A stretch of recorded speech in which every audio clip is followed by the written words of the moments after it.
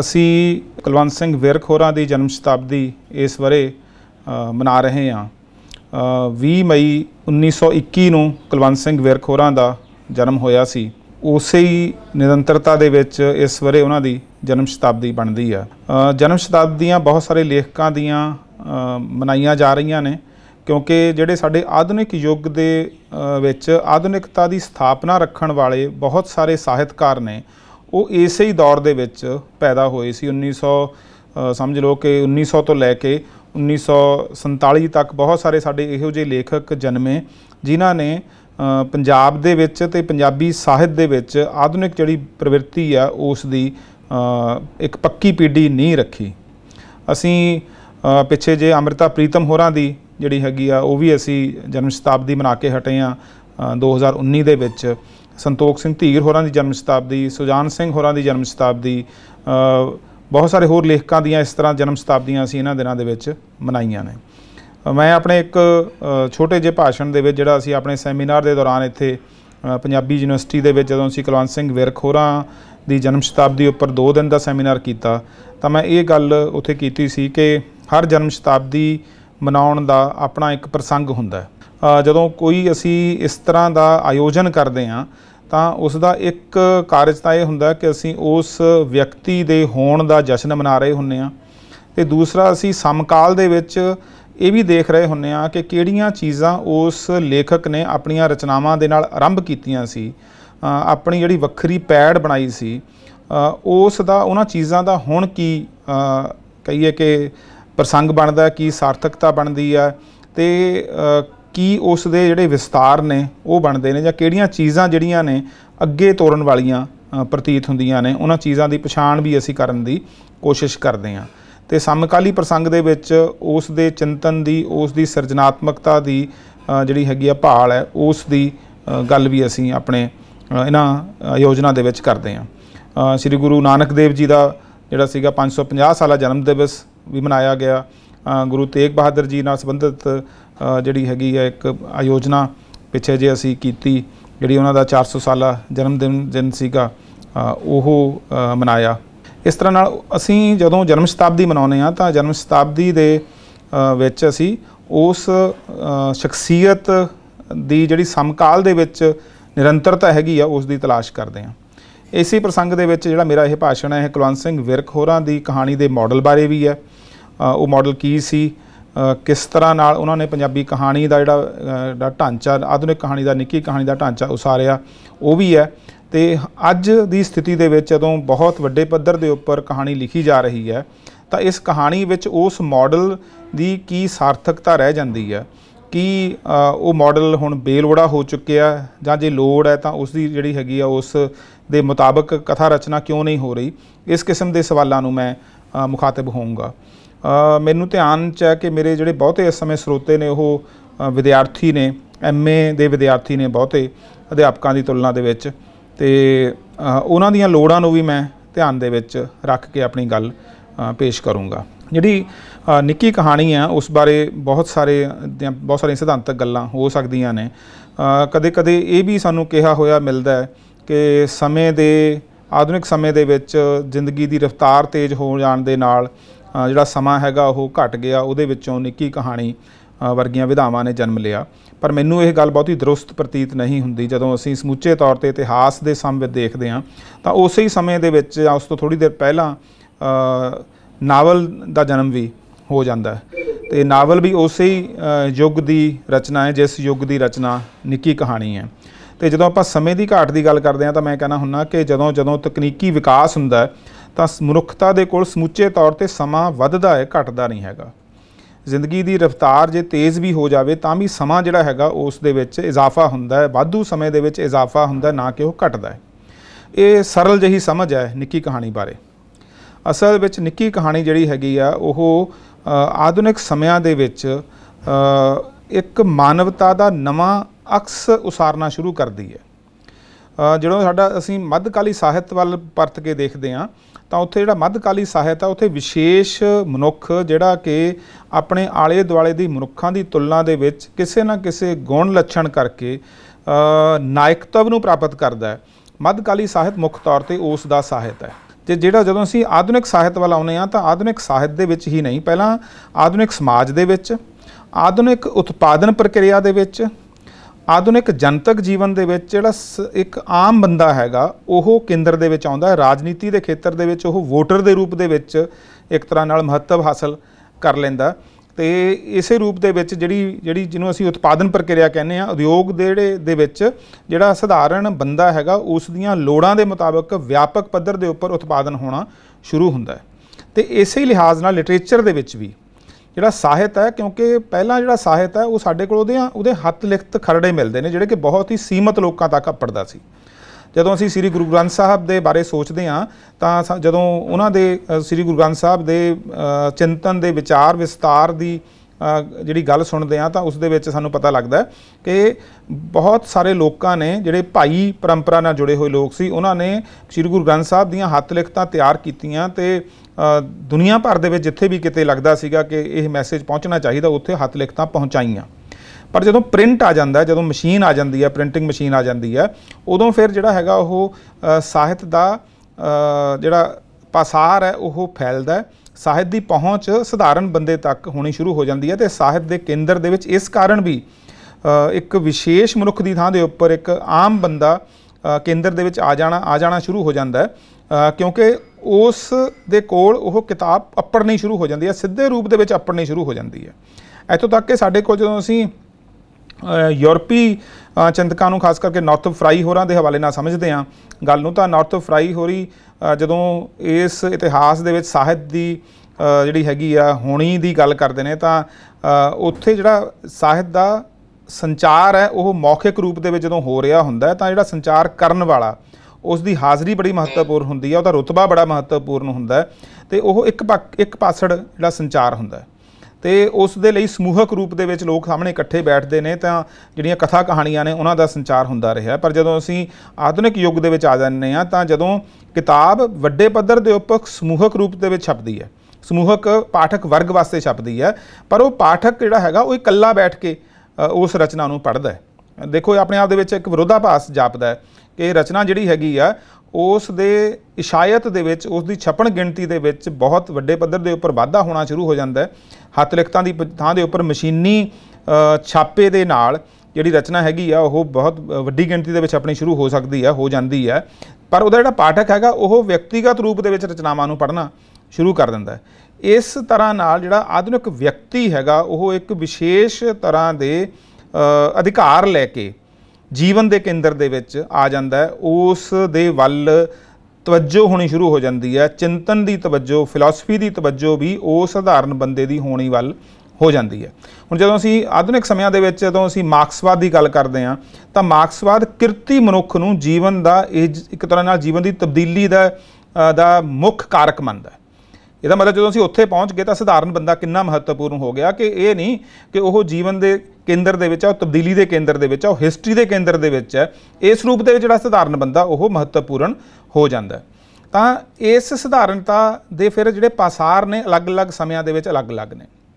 ਜਿਹਨੂੰ ਅਸੀਂ ਆਧੁਨਿਕਤਾ ਕਹਿੰਦੇ ਆ ਉਹ ਵੀ ਦੁਨੀਆ ਦੇ ਵਿੱਚ ਬਿਲਕੁਲ ਇੱਕਸਾਰ ਰੂਪ ਦੇ ਵਿੱਚ ਨਹੀਂ ਵਾਪਰਦੀ, ਕਿਉਂਕਿ ਸਾਡੇ ਨਾਲ, ਭਾਰਤ ਦੇ ਲੋਕਾਂ ਦੇ ਨਾਲ ਜਿਹੜਾ ਆਧੁਨਿਕਤਾ ਦਾ ਨਾਤਾ ਹੈਗਾ, ਉਹ ਬਸਤੀਵਾਦ ਦੇ ਰਾਹੀਂ ਬਣਦਾ ਹੈ।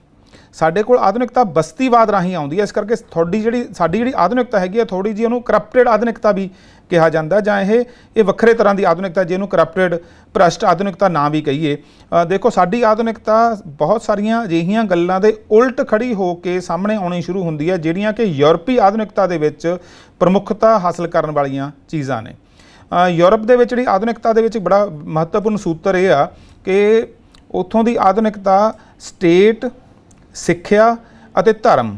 ਇਹਨਾਂ ਦੇ ਨਖੇੜੇ ਦੇ ਮੂਲ ਸੂਤਰ ਦੇ ਉੱਪਰ ਉਸਰਦੀ ਹੈ ਕਿ ਇਹ ਆਪਸ ਨਿਖੜਦੇ ਨੇ। ਪਰ ਸਾਡੀ ਜਦੋਂ ਆਧੁਨਿਕਤਾ ਹੁੰਦੀ ਹੈ ਤਾਂ ਸਾਡੀ ਆਧੁਨਿਕਤਾ ਦਾ ਪਹਿਲਾ ਬਿੰਦੂ ਧਰਮ ਸੁਧਾਰ ਲਹਿਰਾਂ ਨੇ। ਧਰਮ ਸੁਧਾਰ ਲਹਿਰਾਂ ਦੇ ਨਾਲ ਅਸੀਂ ਧਰਮ ਦੇ ਨਾਲ ਮਤਲਬ ਜੁੜਦੇ ਹਾਂ, ਯੂਰਪੀ ਆਧੁਨਿਕਤਾ ਧਰਮ ਨਾਲ ਟੁੱਟਦੀ ਹੈ। ਕਮਾਲ ਦੀ ਗੱਲ ਹੈ ਕਿ ਜਦੋਂ ਅੰਗਰੇਜ਼ ਸਾਡੇ ਵਾਰੀ-ਵਾਰੀ ਕਰਕੇ ਸਾਰੇ ਭਾਰਤ ਦੇ ਵੱਖ-ਵੱਖ ਹਿੱਸਿਆਂ ਨੂੰ ਆਪਣੇ ਕਬਜ਼ੇ ਵਿੱਚ ਲੈਂਦੇ ਨੇ ਤਾਂ ਉੱਥੇ ਮਸ਼ੀਨੀਕਰਨ ਦੀ ਥਾਂ ਦੇ ਉੱਪਰ ਅਮਸ਼ੀਨੀਕਰਨ ਹੋਣਾ ਸ਼ੁਰੂ ਹੁੰਦਾ ਹੈ ਉੱਥੇ ਅਰਬਨਾਈਜੇਸ਼ਨ ਦੀ ਬਜਾਏ ਜਿਹੜਾ ਡੀ ਅਰਬਨਾਈਜੇਸ਼ਨ ਹੋਣੀ ਸ਼ੁਰੂ ਹੁੰਦੀ ਹੈ ਜਿਹੜੀ ਮੁੱਢਲੇ ਦੌਰ ਦੇ ਵਿੱਚ ਸਾਡੇ ਜਿਹੜੇ ਵੱਡੇ ਵਸੇਬੇ ਨੇ, ਵੱਡੇ ਸ਼ਹਿਰ ਵਸੇ ਸੀ, ਜਿਹੜੇ ਮੱਧ ਕਾਲ ਦੇ ਵਿੱਚ ਅੰਗਰੇਜ਼ਾਂ ਦੇ ਸ- ਦੇ ਆਉਣ ਤੋਂ ਪਹਿਲਾਂ ਤੱਕ, ਉਹ ਸ਼ਹਿਰ ਉੱਜੜਨੇ ਸ਼ੁਰੂ ਹੁੰਦੇ ਨੇ, ਪਿੰਡੂਕਰਨ ਹੋਣਾ ਸ਼ੁਰੂ ਹੋ ਜਾਂਦਾ ਹੈ। ਤੇ ਲੋਕਾਂ ਦਾ ਧਾਰਮਿਕੀਕਰਨ ਹੋਣਾ ਸ਼ੁਰੂ ਹੋ ਜਾਂਦਾ, ਜਿਹੜਾ ਕਿ ਜਿਹੜਾ ਜਿਸ ਦੇ ਵਿੱਚ ਕਿ ਪਹਿਲਾਂ ਜਿਹੜੀਆਂ ਸਥਿਤੀਆਂ ਸੀ, ਉਹ ਹੋਰ ਦਿਸ਼ਾ ਵੱਲ ਜਾਣੀਆਂ ਸ਼ੁਰੂ ਹੋ ਗਈਆਂ ਸੀ। ਜਦੋਂ ਰਣਜੀਤ ਸਿੰਘ ਕਾਲ ਹੋਰਾਂ ਦੇ ਇਤਿਹਾਸ ਨੂੰ, ਉਸ ਉਸ ਰਣਜੀਤ ਸਿੰਘ ਰਾਜ ਦੇ ਇਤਿਹਾਸ ਨੂੰ ਦੇਖਦੇ ਹਾਂ, ਤਾਂ ਸਾਨੂੰ ਉਹਦੇ ਵਿੱਚ ਸਾਨੂੰ ਬਹੁਤ ਵੱਡੇ ਪੱਧਰ ਦੇ ਉੱਪਰ ਲਾਹੌਰ ਦੇ ਵਿੱਚ ਇੰਡਸਟਰੀ ਉਸਰਦੀ ਦਿਖਦੀ ਆ ਕਿ ਪੂਰੀ ਤਰ੍ਹਾਂ ਨਾਲ ਆਪਣੇ ਤਰ੍ਹਾਂ ਦਾ ਇੱਕ ਉਦਯੋਗੀਕਰਨ ਹੋ ਰਿਹਾ ਸੀ ਅੰਗਰੇਜ਼ਾਂ ਦੇ ਆਉਣ ਤੋਂ ਪਹਿਲਾਂ, ਤਾਂ ਡੀ ਇੰਡਸਟਰੀਲਾਈਜੇਸ਼ਨ ਹੋਣੀ ਸ਼ੁਰੂ ਹੋ ਜਾਂਦੀ ਹੈ। ਜਿਹੜੀ ਯੂਰਪੀ ਆਧੁਨਿਕਤਾ ਹੈਗੀ ਆ, ਉਹਦੇ ਵਿੱਚ ਇੰਡਸਟਰੀਲਾਈਜੇਸ਼ਨ ਹੁੰਦੀ ਹੈ। ਸਾਡੀ ਆਧੁਨਿਕਤਾ ਦੇ ਵਿੱਚ ਡੀ ਇੰਡਸਟਰੀਲਾਈਜੇਸ਼ਨ ਸ਼ੁਰੂ ਹੁੰਦੀ ਹੈ। ਉੱਥੇ ਧਰਮ ਨਾਲੋਂ ਨਿਖੇੜਾ ਸ਼ੁਰੂ ਹੁੰਦਾ ਹੈ, ਰਾਜ ਦਾ, ਰਾਜਨੀਤੀ ਦਾ ਤੇ ਸਿੱਖਿਆ ਦਾ। ਸਾਡੇ ਜਿਹੜੀ ਸਿੱਖਿਆ ਹੈਗੀ ਆ, ਉਹ ਮੁੱਢਲੇ ਤੌਰ ਤੇ ਸ਼ੁਰੂ ਹੀ ਆਧੁਨਿਕ ਸਿੱਖਿਆ ਜਿਹੜੀਆਂ ਧਾਰਮਿਕ ਸੁਧਾਰ ਲਹਿਰਾਂ ਨੇ, ਉਹਨਾਂ ਨੇ ਕਰਨੀ ਸ਼ੁਰੂ ਕੀਤੀ। ਉਹ ਭਾਵੇਂ ਆਰੀਆ ਸਮਾਜ ਸੀ, ਭਾਵੇਂ ਸਿੰਘ ਸਭਾ ਲਹਿਰ ਸੀ, ਭਾਵੇਂ ਉਹ ਵਹਾਬੀ ਲਹਿਰ ਸੀ, ਤਾਂ ਸਾਰੀਆਂ ਜਿਹੜੀਆਂ ਲਹਿਰਾਂ ਨੇ, ਉਹ ਕਿਸੇ ਨਾ ਕਿਸੇ ਰੂਪ ਦੇ ਵਿੱਚ ਸਿੱਖਿਆ ਦੇ ਖੇਤਰ ਦੇ ਵਿੱਚ, ਨਵੀਂ ਸਿੱਖਿਆ ਦੇ ਖੇਤਰ ਦੇ ਵਿੱਚ ਪ੍ਰਵੇਸ਼ ਕਰਦੀਆਂ ਨੇ। ਤਾਂ ਇਹਦਾ ਮਤਲਬ ਕਿ ਸਾਡੀ ਆਧੁਨਿਕਤਾ ਪੱਛਮੀ ਆਧੁਨਿਕਤਾ ਨਾਲੋਂ ਵੱਖਰੀ ਹੈ ਤਾਂ ਜ਼ਾਹਿਰ ਹੈ ਕਿ ਸਾਡੇ ਜਿਹੜੇ ਲੇਖਕ ਨੇ ਉਹ ਜਦੋਂ ਆਧੁਨਿਕਤਾ ਨਾਲ ਨਾਤਾ ਜੋੜਦੇ ਨੇ, ਤਾਂ ਉਸ ਨਾਤੇ ਦੇ ਵਿੱਚ ਸਾਨੂੰ ਧਿਆਨ 'ਚ ਰੱਖਣਾ ਪਊਗਾ ਕਿ ਇਹ ਯੂਰਪੀ ਜਾਂ ਵਿਸ਼ਵ ਵਿਆਪੀ ਆਧੁਨਿਕਤਾ ਦੇ ਵਰਗਾ ਥੋੜਾ ਜਿਹਾ ਹੋਣ ਦੇ ਬਾਵਜੂਦ ਕੁਝ ਗੱਲਾਂ ਦੇ ਵਿੱਚ ਉਸ ਤੋਂ ਬਹੁਤ ਵੱਖਰਾ ਵੀ ਹੈ। ਕਿਉਂਕਿ ਅਸੀਂ ਮੁੱਢਲੇ ਸਮੇਂ ਤੋਂ ਹੀ ਆਧੁਨਿਕਤਾ ਦੇ ਨਾਲ ਇੱਕ ਆਲੋਚਨਾਤਮਕ ਰਿਸ਼ਤਾ ਬਣਾਇਆ। ਬਹੁਤ ਵੱਡੇ ਪੱਧਰ ਦੇ ਉੱਪਰ ਮੁੱਢਲੇ ਤੌਰ ਤੇ ਜਦੋਂ ਅਸੀਂ ਸਿੰਘ- ਜਿਹੜੀਆਂ ਸਾਡੀਆਂ ਸੁਧਾਰ ਲਹਿਰਾਂ ਨੇ, ਉਹ ਆਧੁਨਿਕਤਾ ਦੀਆਂ ਬਹੁਤ ਸਾਰੀਆਂ ਚੀਜ਼ਾਂ ਨੂੰ ਰੱਦ ਕਰਦੀਆਂ ਨੇ। ਤਾਂ ਇਹਦਾ ਮਤਲਬ ਆਧੁਨਿਕਤਾ ਦੇ ਆਧੁਨਿਕਤਾ ਦਾ ਜਿਹੜਾ ਮਨੁੱਖ ਦਾ ਸੰਕਲਪ ਹੈ। ਤੇ ਤੀਸਰੀ ਚੀਜ਼ ਜਿਹੜੀ ਆਧੁਨਿਕ ਨੈਤਿਕਤਾ ਹੈਗੀ ਆ, ਇਹ ਇੱਕ ਸਾਰ ਨਹੀਂ ਹੈਗੀ ਸਾਡੀ ਯੂਰਪੀ ਜਿਹੜੀ ਆਧੁਨਿਕਤਾ, ਯੂਰਪੀ ਨੈਤਿਕਤਾ ਦਾ ਤਾਂ ਯੂਰਪੀ ਜਿਹੜਾ ਮਨੁੱਖਤਾ ਦਾ ਸੰਕਲਪ ਹੈ, ਉਹਦੇ ਨਾਲ ਸਾਡੀ ਆਧੁਨਿਕਤਾ ਦਾ ਸੰਬੰਧ ਇੱਕਸਾਰਤਾ ਵਾਲਾ ਜਾਂ ਇੱਕ ਰੂਪਤਾ ਵਾਲਾ ਨਹੀਂ ਹੈ। ਇਸੇ ਤਰ੍ਹਾਂ ਨਾਲ ਜਦੋਂ ਅਸੀਂ ਸਾਹਿਤ ਦੀ ਗੱਲ ਕਰਦੇ ਹਾਂ ਤਾਂ ਸਾਡੀਆਂ ਸਾਹਿਤਕ ਸਿਨਫਾਂ ਦੇ ਵਿੱਚ ਵੀ ਤੁਸੀਂ ਇਸ ਤਰ੍ਹਾਂ ਦੀ ਤਬਦੀਲੀ ਦੇਖੋਗੇ। ਸਾਡੀਆਂ ਸਾਹਿਤਕ ਸਿਨਫਾਂ ਦਾ ਆਰੰਭਕ ਬਿੰਦੂ ਉਹ ਨਹੀਂ ਹੈ ਜਿਹੜਾ ਕਿ ਆਧੁਨਿਕ ਸਾਹਿਤਕ ਸਿਨਫਾਂ ਦਾ ਯੂਰਪ ਦੇ ਵਿੱਚ ਆਧੁਨਿਕ ਸਾਹਿਤਕ ਸਿਨਫਾਂ ਦਾ ਆਰੰਭ ਬਿੰਦੂ ਹੈ। ਸਾਡਾ ਸਾ- ਸਾਡਾ ਜਿਹੜਾ ਆਰੰਭ ਬਿੰਦੂ ਆ ਉਹ ਵੱਖਰੇ ਤਰ੍ਹਾਂ ਨਾਲ ਸ਼ੁਰੂ ਹੁੰਦਾ ਸਾਡੇ ਲੇਖਕ ਵੱਖਰੇ ਤਰ੍ਹਾਂ ਨਾਲ ਆਧੁਨਿਕ ਸਥਿਤੀਆਂ ਦੇ ਨਾਲ ਨੈਗੋਸ਼ੀਏਟ ਕਰਦੇ ਨੇ। ਹੁਣ ਜਦੋਂ ਅਸੀਂ ਨਿੱਕੀ ਕਹਾਣੀ ਤੇ ਆਉਨੇ ਆ ਤਾਂ ਸਾਡੀ ਜਿਹੜੀ ਨਿੱਕੀ ਕਹਾਣੀ ਹੈ, ਮੁੱਢਲੇ ਰੂਪ ਦੇ ਵਿੱਚ ਕਹਿ ਜਿਹੜਾ ਨਿ- ਨਿੱਕੀ ਤੇ ਕਹਾਣੀ ਇਹ ਸ਼ਬਦ ਬਹੁਤ ਦੇਰ ਨਾਲ ਵਰਤਿਆ ਜਾਣਾ ਸ਼ੁਰੂ ਹੋ ਗਿਆ। ਸਾਡੇ ਤਾਂ ਕਹਾਣੀ ਸ਼ਬਦ ਵੀ ਬਹੁਤ ਦੇਰ ਨਾਲ ਵਰਤਿਆ ਜਾਣਾ ਸ਼ੁਰੂ ਹੋਇਆ। ਪਹਿਲਾਂ ਅਸੀਂ ਇਸ ਨੂੰ ਕਥਾ ਦੇ ਰੂਪ ਦੇ ਵਿੱਚ ਹੀ, ਵਾਰਤਾ ਦੇ ਰੂਪ ਦੇ ਵਿੱਚ ਇਹਨੂੰ ਜਾਣਦੇ ਸੀ। ਆਪਾਂ ਜੇ ਸਮਝ ਲਓ ਕਿ 1920 ਤੋਂ ਪਹਿਲਾਂ ਦੀਆਂ ਜਿਹੜੀਆਂ ਰ- ਰਚਨਾਵਾਂ ਨੇ, ਉਹਨਾਂ ਨੂੰ ਦੇਖੀ, ਉਹਦੇ ਵਿੱਚ ਕਹਾਣੀਆਂ ਨੂੰ ਵਾਰਤਾ ਕਿਹਾ ਗਿਆ। ਕਥਾ ਕਿਹਾ ਗਿਆ, ਕਹਾਣੀ ਸ਼ਬਦ ਬਹੁਤ ਲੇਟ ਜਾ ਕੇ ਹੋਣ ਦੇ ਵਿੱਚ ਆਉਂਦਾ, ਇੱਥੋਂ ਤੱਕ ਕਿ ਸਾਹਿਤ ਸ਼ਬਦ ਵੀ ਬਹੁਤ ਲੇਟ ਦੇ ਲੋ- ਲੇਟ ਬਹੁਤ ਦੇਰੀ ਨਾਲ ਵਰਤਿਆ ਜਾਣਾ ਸ਼ੁਰੂ ਹੁੰਦਾ ਸਾਹਿਤ ਸ਼ਬਦ ਦੀ ਵਰਤੋਂ ਪਹਿਲਾਂ ਅਸੀਂ ਨਹੀਂ ਸੀ ਕਰਦੇ। ਇਹ ਅੰਗਰੇਜ਼ਾਂ ਦੇ ਆਉਣ ਤੋਂ ਬਾਅਦ ਦੀਆਂ ਚੀਜ਼ਾਂ ਨੇ ਜਦੋਂ ਸਾਹਿਤ ਸ਼ਬਦ ਹੋਣ ਦੇ ਵਿੱਚ, ਪੰਜਾਬੀ ਦੇ ਵਿੱਚ ਖਾਸ ਕਰਕੇ ਸਾਹਿਤ ਸ਼ਬਦ ਦੀ ਵਰਤੋਂ ਹੁੰਦੀ ਹੈ। ਤਾਂ ਉਸ ਸੂਰਤ ਦੇ ਵਿੱਚ ਜਿਹੜੀ ਕਹਾਣੀ, ਜਦੋਂ ਜਿਹਨੂੰ ਨਿੱਕੀ ਕਹਾਣੀ ਕਹਿੰਦੇ ਆ ਇਸ ਦੇ ਬਾਰੇ ਇਸ ਕਿਸਮ ਦੀਆਂ ਟਿੱਪਣੀਆਂ ਵੀ ਸਾਡੇ ਆਲੋਚਨਾ ਦੀਆਂ ਮਿਲਦੀਆਂ ਕਿ ਸੇਖੋਂ ਤੋਂ ਪਹਿਲਾਂ ਦੀ ਸਾਰੀ ਜਿਹੜੀ ਕਹਾਣੀ ਨੂੰ ਜੇ ਛੱਡ ਵੀ ਦਈਏ ਤਾਂ ਕੋਈ ਨੁਕਸਾਨ ਹੋਣ ਵਾਲਾ ਨਹੀਂ ਹੈਗਾ। ਸੇਖੋਂ ਤੋਂ ਅਸੀਂ ਕਹਿੰਦੇ ਆ ਕਿ ਜਿਹੜੀ ਨਿੱਕੀ ਕਹਾਣੀ ਹੈ, ਉਹ ਸ਼ੁਰੂ ਹੁੰਦੀ ਹੈ। ਤਾਂ ਜਿਹੜਾ ਸਾਡਾ ਕਹਾਣੀਕਾਰ ਹੈ, ਅਸੀਂ ਜਦੋਂ ਕਹਿੰਦੇ ਆ ਕਿ ਸਾ- ਪੰਜਾਬੀ ਜਿਹੜੀ ਕਹਾਣੀ ਹੈ, ਉਹ ਸਧਾਰਨ ਮਨੁੱਖ ਦੀ ਸਧਾਰਨਤਾ ਨੂੰ ਪੇਸ਼ ਕਰਨ ਵਾਲੀ ਵਿਧਾ ਹੈ ਤਾਂ ਸਧਾਰਨਤਾ ਦਾ ਜਿਹੜਾ ਭਾਰਤੀ ਤੇ ਪੰਜਾਬੀ ਸੰਕਲਪ ਹੈ, ਉਹ ਬਹੁਤ ਵੱਖਰਾ ਹੈ ਉਸ ਦੇ ਵਿੱਚ ਕੁਝ ਚੀਜ਼ਾਂ ਜਿਹੜੀਆਂ ਹੋਣਗੀਆਂ, ਉਹ ਲਾਜ਼ਮੀ ਤੌਰ ਤੇ ਉਹ ਯੂਰਪੀ ਕਹਾਣੀ ਦੇ ਸਧਾਰਨ ਬੰਦੇ ਨਾਲੋਂ ਵੱਖਰੀਆਂ ਹੋਣਗੀਆਂ। ਯੂਰਪੀ ਜਿਹੜਾ ਕਹਾਣੀ ਦਾ, ਜਿਹੜਾ ਨਾਵਲ ਤੇ ਕਹਾਣੀ ਦੇ ਗਲਪ ਦੀ ਆਪਾਂ ਗੱਲ ਕਰੀਏ, ਆਧੁਨਿਕ ਗਲਪ ਦੀ, ਜਿਹੜੀ ਉੱਥੇ ਸਧਾਰਨਤਾ ਦਾ ਸੰਬੰਧ ਸਾਹਸ ਕਰਮ ਦੇ ਨਾਲ ਵੀ ਜੁੜਦਾ ਹੈ। ਅਤੇ ਜਿਹੜਾ ਉਹ ਸਾਹਸ ਕਰਮ, ਭੌਤਿਕ ਸਾਹਸ ਕਰਮ ਵੀ ਹੈ, ਨੈਤਿਕ ਸਾਹਸ ਕਰਮ ਵੀ ਹੈ। ਕਾਮੁਕਤਾ ਦੇ ਨਾਲ ਬਹੁਤ ਗਹਿਰੇ ਰੂਪ ਦੇ ਵਿੱਚ ਜੁੜਦਾ ਹੈ, ਜਿਹੜੀਆਂ ਸਾਡੀਆਂ ਪੁਰਾਣੀਆਂ ਕਦਰਾਂ, ਕੀਮਤਾਂ ਸੀ, ਉਹਨਾਂ ਨੂੰ ਬਹੁਤ ਵੱਡੇ ਪੈਮਾਨੇ ਦੇ ਉੱਪਰ ਯੂਰਪ ਦੇ ਵਿੱਚ ਤੋੜਿਆ, ਭੰਨਿਆ ਜਾਂਦਾ ਹੈ। ਸਾਡਾ ਜਿਹੜਾ ਸਧਾਰਨ ਮਨੁੱਖ ਹੈ, ਉਹ ਉਸ ਪੱਧਰ ਦੇ ਉੱਪਰ ਇੰਨੇ ਖੁੱਲੇ ਰੂਪ ਦੇ ਵਿੱਚ ਜਿਹੜੀਆਂ ਕਦਰਾਂ, ਕੀਮਤਾਂ ਨੇ, ਉਹਨਾਂ ਨੂੰ ਭੰਨਣ, ਤੋੜਨ ਦੇ ਰਸਤੇ ਉੱਪਰ ਨਹੀਂ ਤੁਰਦਾ। ਬਹੁਤ ਹੀ ਬਾਰੀਕ ਕਿਸਮ ਦੇ ਵੇਰਵੇ ਜਿਹੜੇ ਹੈਗੇ ਨੇ, ਉਹ ਤੁਹਾਨੂੰ ਨਜ਼ਰ ਆਉਣਗੇ, ਜਿਹਦੇ ਵਿੱਚ ਕਿਤੇ ਜਿਹੜੀ ਜਿਹੜੀ ਸਾਡੀ ਪਰੰਪਰਕ ਨੈਤਿਕਤਾ ਹੈਗੀ ਆ, ਉਹਦੇ ਨਾਲ ਅਸੀਂ ਥੋੜਾ ਜਿਹਾ ਜਦੋਂ ਇੱਕ ਤਰ੍ਹਾਂ ਨਾਲ ਨਾਤਾ ਬਣਾਉਂਦੇ ਆ ਤਾਂ ਉਹਦੇ ਵਿੱਚ ਪਰੰਪਰਕ ਨੈਤਿਕਤਾ ਨੂੰ ਰੱਦ ਕਰਨ ਦੀਆਂ ਜਿਹੜੀਆਂ ਚੀਜ਼ਾਂ ਨੇ ਬਹੁਤ ਹੀ ਮੱਧਮ ਗਤੀ ਦੇ ਵਿੱਚ ਪੰਜਾਬੀ ਦੇ ਵਿੱਚ ਚੱਲਦੀਆਂ ਨੇ। ਗੱਲ ਮੈਂ ਦੇਰੀ ਨਾਲ ਕਰਨੀ ਸੀ, ਪਰ ਕਿਉਂਕਿ ਮੈਂ ਇੱਥੇ ਗੱਲ ਥੋੜੀ ਜਿਹੀ ਛੇੜ ਲਈ ਹੈ ਨੈਤਿਕਤਾ ਦੀ ਮੈਂ ਉਸ ਬਾਰੇ ਇੰਨੀ ਕੁ ਗੱਲ ਜਿਹੜੀ ਕਰ ਲੈਣਾ ਕਿ ਜਿਹੜੀ ਜਿਹੜੀ ਉਹਦੀ ਕਹਾਣੀ ਆ ਕੁਲਵੰਤ ਸਿੰਘ ਵਿਰਕ ਦੀ, ਛਾਹ ਵੇਲਾ, ਉਹਦੇ ਚ ਕਿੰਨੀ ਬਰੀਕ ਗੱਲ ਨੂੰ ਬਸ ਇੰਨਾ ਕੁ ਦਰਸਾਇਆ ਗਿਆ ਕਿ ਜਿਹੜੀ ਨਾਰੀ ਛੋਹ ਹੈ ਉਸ ਦੇ ਨਾਲ ਇੱਕ ਜਿਹੜਾ ਮਰਦ ਹੈਗਾ ਉਸ ਦੇ ਜੀਵਨ ਦੇ ਵਿੱਚ ਕਿੰਨਾ ਉਤਸ਼ਾਹ ਭਰ ਜਾਂਦਾ। ਤਾਂ ਇਹ ਇੱਕ ਬਰੀਕ ਜੀ, ਛੋਟੀ ਜੀ ਗੱਲ ਜਿਹੜੀ ਕੀਤੀ ਗਈ ਹੈ, ਇੰਨੀ ਗੱਲ ਕਰਨੀ ਹੀ ਆਪਣੇ ਆਪ ਦੇ ਵਿੱਚ ਵਿਰਕ ਹੋਰਾਂ ਨੂੰ ਬੜੀ ਮਹੱਤਵਪੂਰਨ ਲੱਗਦੀ ਪਈ ਹੈ ਕਿ ਇਹ ਗੱਲ ਪੰਜਾਬੀ ਪਾਠਕ ਨੂੰ ਦੱਸੀ ਜਾ ਸਕੇ, ਪੰਜਾਬੀ ਪਾਠਕ ਪਾਠਕ ਤੱਕ ਪਹੁੰਚਾਈ ਜਾ ਸਕੇ ਕਿ ਇੰਨੀ ਕੁ ਛੋਹ ਦੇ ਨਾਲ ਵੀ ਬੰਦੇ ਦੀ ਜੀਵਨ ਦੇ ਵਿੱਚ ਊਰਜਾ ਪੈਦਾ ਹੋ ਜਾਂਦੀ ਹੈ। ਐਵੇਂ ਇੱਕ ਉਹਨਾਂ ਦੀ ਕਹਾਣੀ ਹੈਗੀ ਆ, ਇਹ ਦੁੱਧ ਤੇਰਾ। ਜਿੱਥੇ ਇੱਥੇ ਮਰਦ ਕੇਂਦਰ ਦੇ ਵਿੱਚ ਆ, ਉੱਥੇ ਔਰਤ ਕੇਂਦਰ ਦੇ ਵਿੱਚ ਹੈ। ਕਿ ਔਰਤ ਦੇ ਮਨ ਦੇ ਵਿੱਚ ਵੀ ਬੰਦੇ ਦੀ ਛੋਹ ਦੀ ਕਹੀਏ ਕਿ ਮੰਗ ਜਾਂ ਭੁੱਖ ਹੁੰਦੀ ਹੈ ਤੇ ਉਸ ਨੂੰ ਉਹ ਗੱਲ ਸੁਭਾਵਕ ਤੇ ਚੰਗੀ ਲੱਗਦੀ ਹੈ। ਇਹ ਗੱਲ ਕਹਿਣ ਲਈ ਸਾਨੂੰ ਵਰੇ ਲੱਗ ਗਏ। ਤਾਂ ਸਧਾਰਨ ਮਨੁੱਖ ਦੇ ਅੰਦਰ ਇਸ ਕਿਸਮ ਦੀ ਕਾਮਨਾ ਹੋਣਾ ਤੇ ਖਾਸ ਕਰਕੇ ਔਰਤ ਨੂੰ ਇੱਕ ਸਧਾਰਨ ਮਨੁੱਖ ਦੇ ਰੂਪ ਦੇ ਵਿੱਚ ਤਸਵਰ ਕਰਨਾ, ਜਿਸ ਦੇ ਅੰਦਰ ਉਹ ਸੁਭਾਵਕ ਬਿਰਤੀਆਂ, ਮੰਗਾਂ, ਪ੍ਰਵਿਰਤੀਆਂ ਹੋ ਸਕਦੀਆਂ ਨੇ ਜਿਹੜੀਆਂ ਕਿ ਕਿਸੇ ਵੀ ਮਨੁੱਖ ਦੇ ਵਿੱਚ ਹੁੰਦੀਆਂ ਨੇ, ਤਾਂ ਇਹ ਗੱਲ ਕਹਿਣ ਲੱਗਿਆ ਵੀ ਸਾਨੂੰ ਕਿੰਨੇ ਵਰੇ ਲੱਗ ਗਏ। ਤਾਂ ਇਹ ਜਿਹੜੀ ਚੀਜ਼ ਹੈ, ਇਹ ਕਹਾਣੀ ਦੇ ਡਿਸਕੋਰਸ ਦੇ ਵਿੱਚ ਪਹਿਲੀ ਵਾਰ ਕੁਲਵੰਤ ਸਿੰਘ ਵਿਰਕ ਹੋਰਾਂ ਦੇ ਰਾਹੀਂ ਆਉਂਦੀ ਹੈ ਕਿ ਉਹ ਸਾਡੀ ਜਿਹੜੀ ਪਰੰਪਰਕ ਨੈਤਿਕਤਾ ਦੇ ਰਾਹੀਂ ਜੋ ਸਾਡੇ ਜੀਵਨ ਤੇ ਮਨ ਦੇ ਵਿੱਚ ਬਣੀਆਂ ਹੋਈਆਂ ਗੰਢਾਂ ਨੇ, ਉਹਨਾਂ ਨੂੰ ਉਹ ਖੋਲਣ ਦੀ ਕੋਸ਼ਿਸ਼ ਕਰਦੇ ਨੇ ਤੇ ਥੋੜਾ ਜਿਹਾ ਨੈਤਿਕ ਵਿਸਤਾਰ ਕਰਦੇ ਨੇ। ਮੇਰੀ ਮੰਨਤਾ ਇਹ ਹੈ ਕਿ ਜਿਹੜੀ ਨਿੱਕੀ ਕਹਾਣੀ ਹੈ, ਉਹ ਮੂਲ ਰੂਪ ਦੇ ਵਿੱਚ ਮਨੁੱਖਤਾ ਦੇ ਸੰਕਲਪ ਦੇ ਨਾਲ ਜੂਝਦੀ ਹੈ। ਮਨੁੱਖ ਕੀ ਹੁੰਦਾ ਮਨੁੱਖ ਦਾ ਮਨੁੱਖ, ਮਨੁੱਖੀ ਕੀ ਹੁੰਦਾ ਮਨੁੱਖ ਕੀ ਹੁੰਦਾ ਤੇ ਮਨੁੱਖੀ ਕੀ ਹੁੰਦਾ ਕਿਹੜੀ ਕਿਹੜੀ ਚੀਜ਼ ਨੂੰ ਅਸੀਂ ਮਨੁੱਖੀ ਮੰਨ ਸਕਦੇ ਹਾਂ? ਕਿ ਜਦੋਂ ਮਨੁੱਖੀ ਕਹਿੰਦੇ ਆ ਤਾਂ ਇਹਦਾ ਮਤਲਬ ਜਿਹੜੀ ਜਿਹੜੀ ਚੀਜ਼ ਨੂੰ ਅਸੀਂ ਸੁਭਾਵਕ ਮੰਨ ਸਕਦੇ ਹਾਂ। ਕਿਹੜੇ ਕਿਹੜੇ ਮਨੁੱਖੀ ਕਾਰਜ ਨੇ? ਕਿਹੜੀਆਂ ਕਿਹੜੀਆਂ ਸੋਚਾਂ ਤੇ ਮਾਨਸਿਕਤਾ ਦੇ ਕਿਹੜੇ ਕਿਹੜੇ ਪਹਿਲੂ ਨੇ? ਕਿਹੜੇ ਕਿਹੜੇ ਵਤੀਰੇ ਦੇ ਪੈਟਰਨ ਨੇ? ਜਿਨ੍ਹਾਂ ਨੂੰ ਅਸੀਂ ਮਨੁੱਖੀ ਕਹਿ ਸਕਦੇ ਹਾਂ?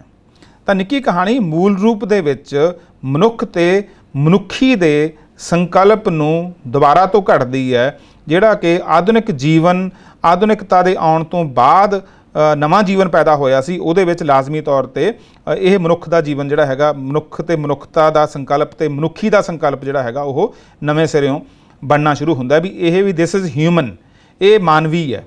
ਅਸੀਂ ਬਹੁਤ ਸਾਰਾ ਕੁਝ ਹਾਲੇ ਵੀ ਮੈਸੇ ਮਾਨਵੀ ਨਹੀਂ ਮੰਨਦੇ ਹੈਗੇ। ਮੈਂ ਇਹ ਆਪਣੇ ਆਲੇ ਦੁਆਲੇ ਦੇਖਦਾ ਹੁੰਨਾ ਕਿ ਅਸੀਂ ਤਾਂ ਜਿਹੜੇ ਕੁਦਰਤੀ ਰੂਪ ਦੇ ਵਿੱਚ ਜੇ ਕੋਈ ਵਿਅਕਤੀ ਥਰਡ ਜੈਂਡਰ ਦਾ ਤੀਜੇ ਲਿੰਗ ਦਾ ਸ਼ੁਰੂ ਹੁੰਦਾ ਉਹਨੂੰ ਵੀ ਅਸੀਂ ਪੂਰੀ ਤਰ੍ਹਾਂ ਨਾਲ ਮਨੁੱਖੀ ਨਹੀਂ ਮੰਨਦੇ, ਮਨੁੱਖ ਨਹੀਂ ਮੰਨਦੇ ਹੈਗੇ।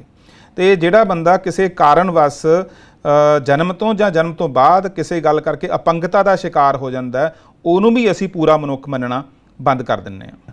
ਇਸੇ ਤਰੀਕੇ ਨਾਲ ਅਸੀਂ ਨਾਰੀ ਨੂੰ ਵੀ ਬਹੁਤ ਦੇਰ ਬਾਅਦ ਪੂਰਾ ਮਨੁੱਖ ਮੰਨਣਾ ਸ਼ੁਰੂ ਕੀਤਾ। ਨਾਰੂ ਨਾਰੀ ਨੂੰ ਵੀ ਅਸੀਂ ਪੂਰਾ ਮਨੁੱਖ ਨਹੀਂ ਮੰਨਦੇ।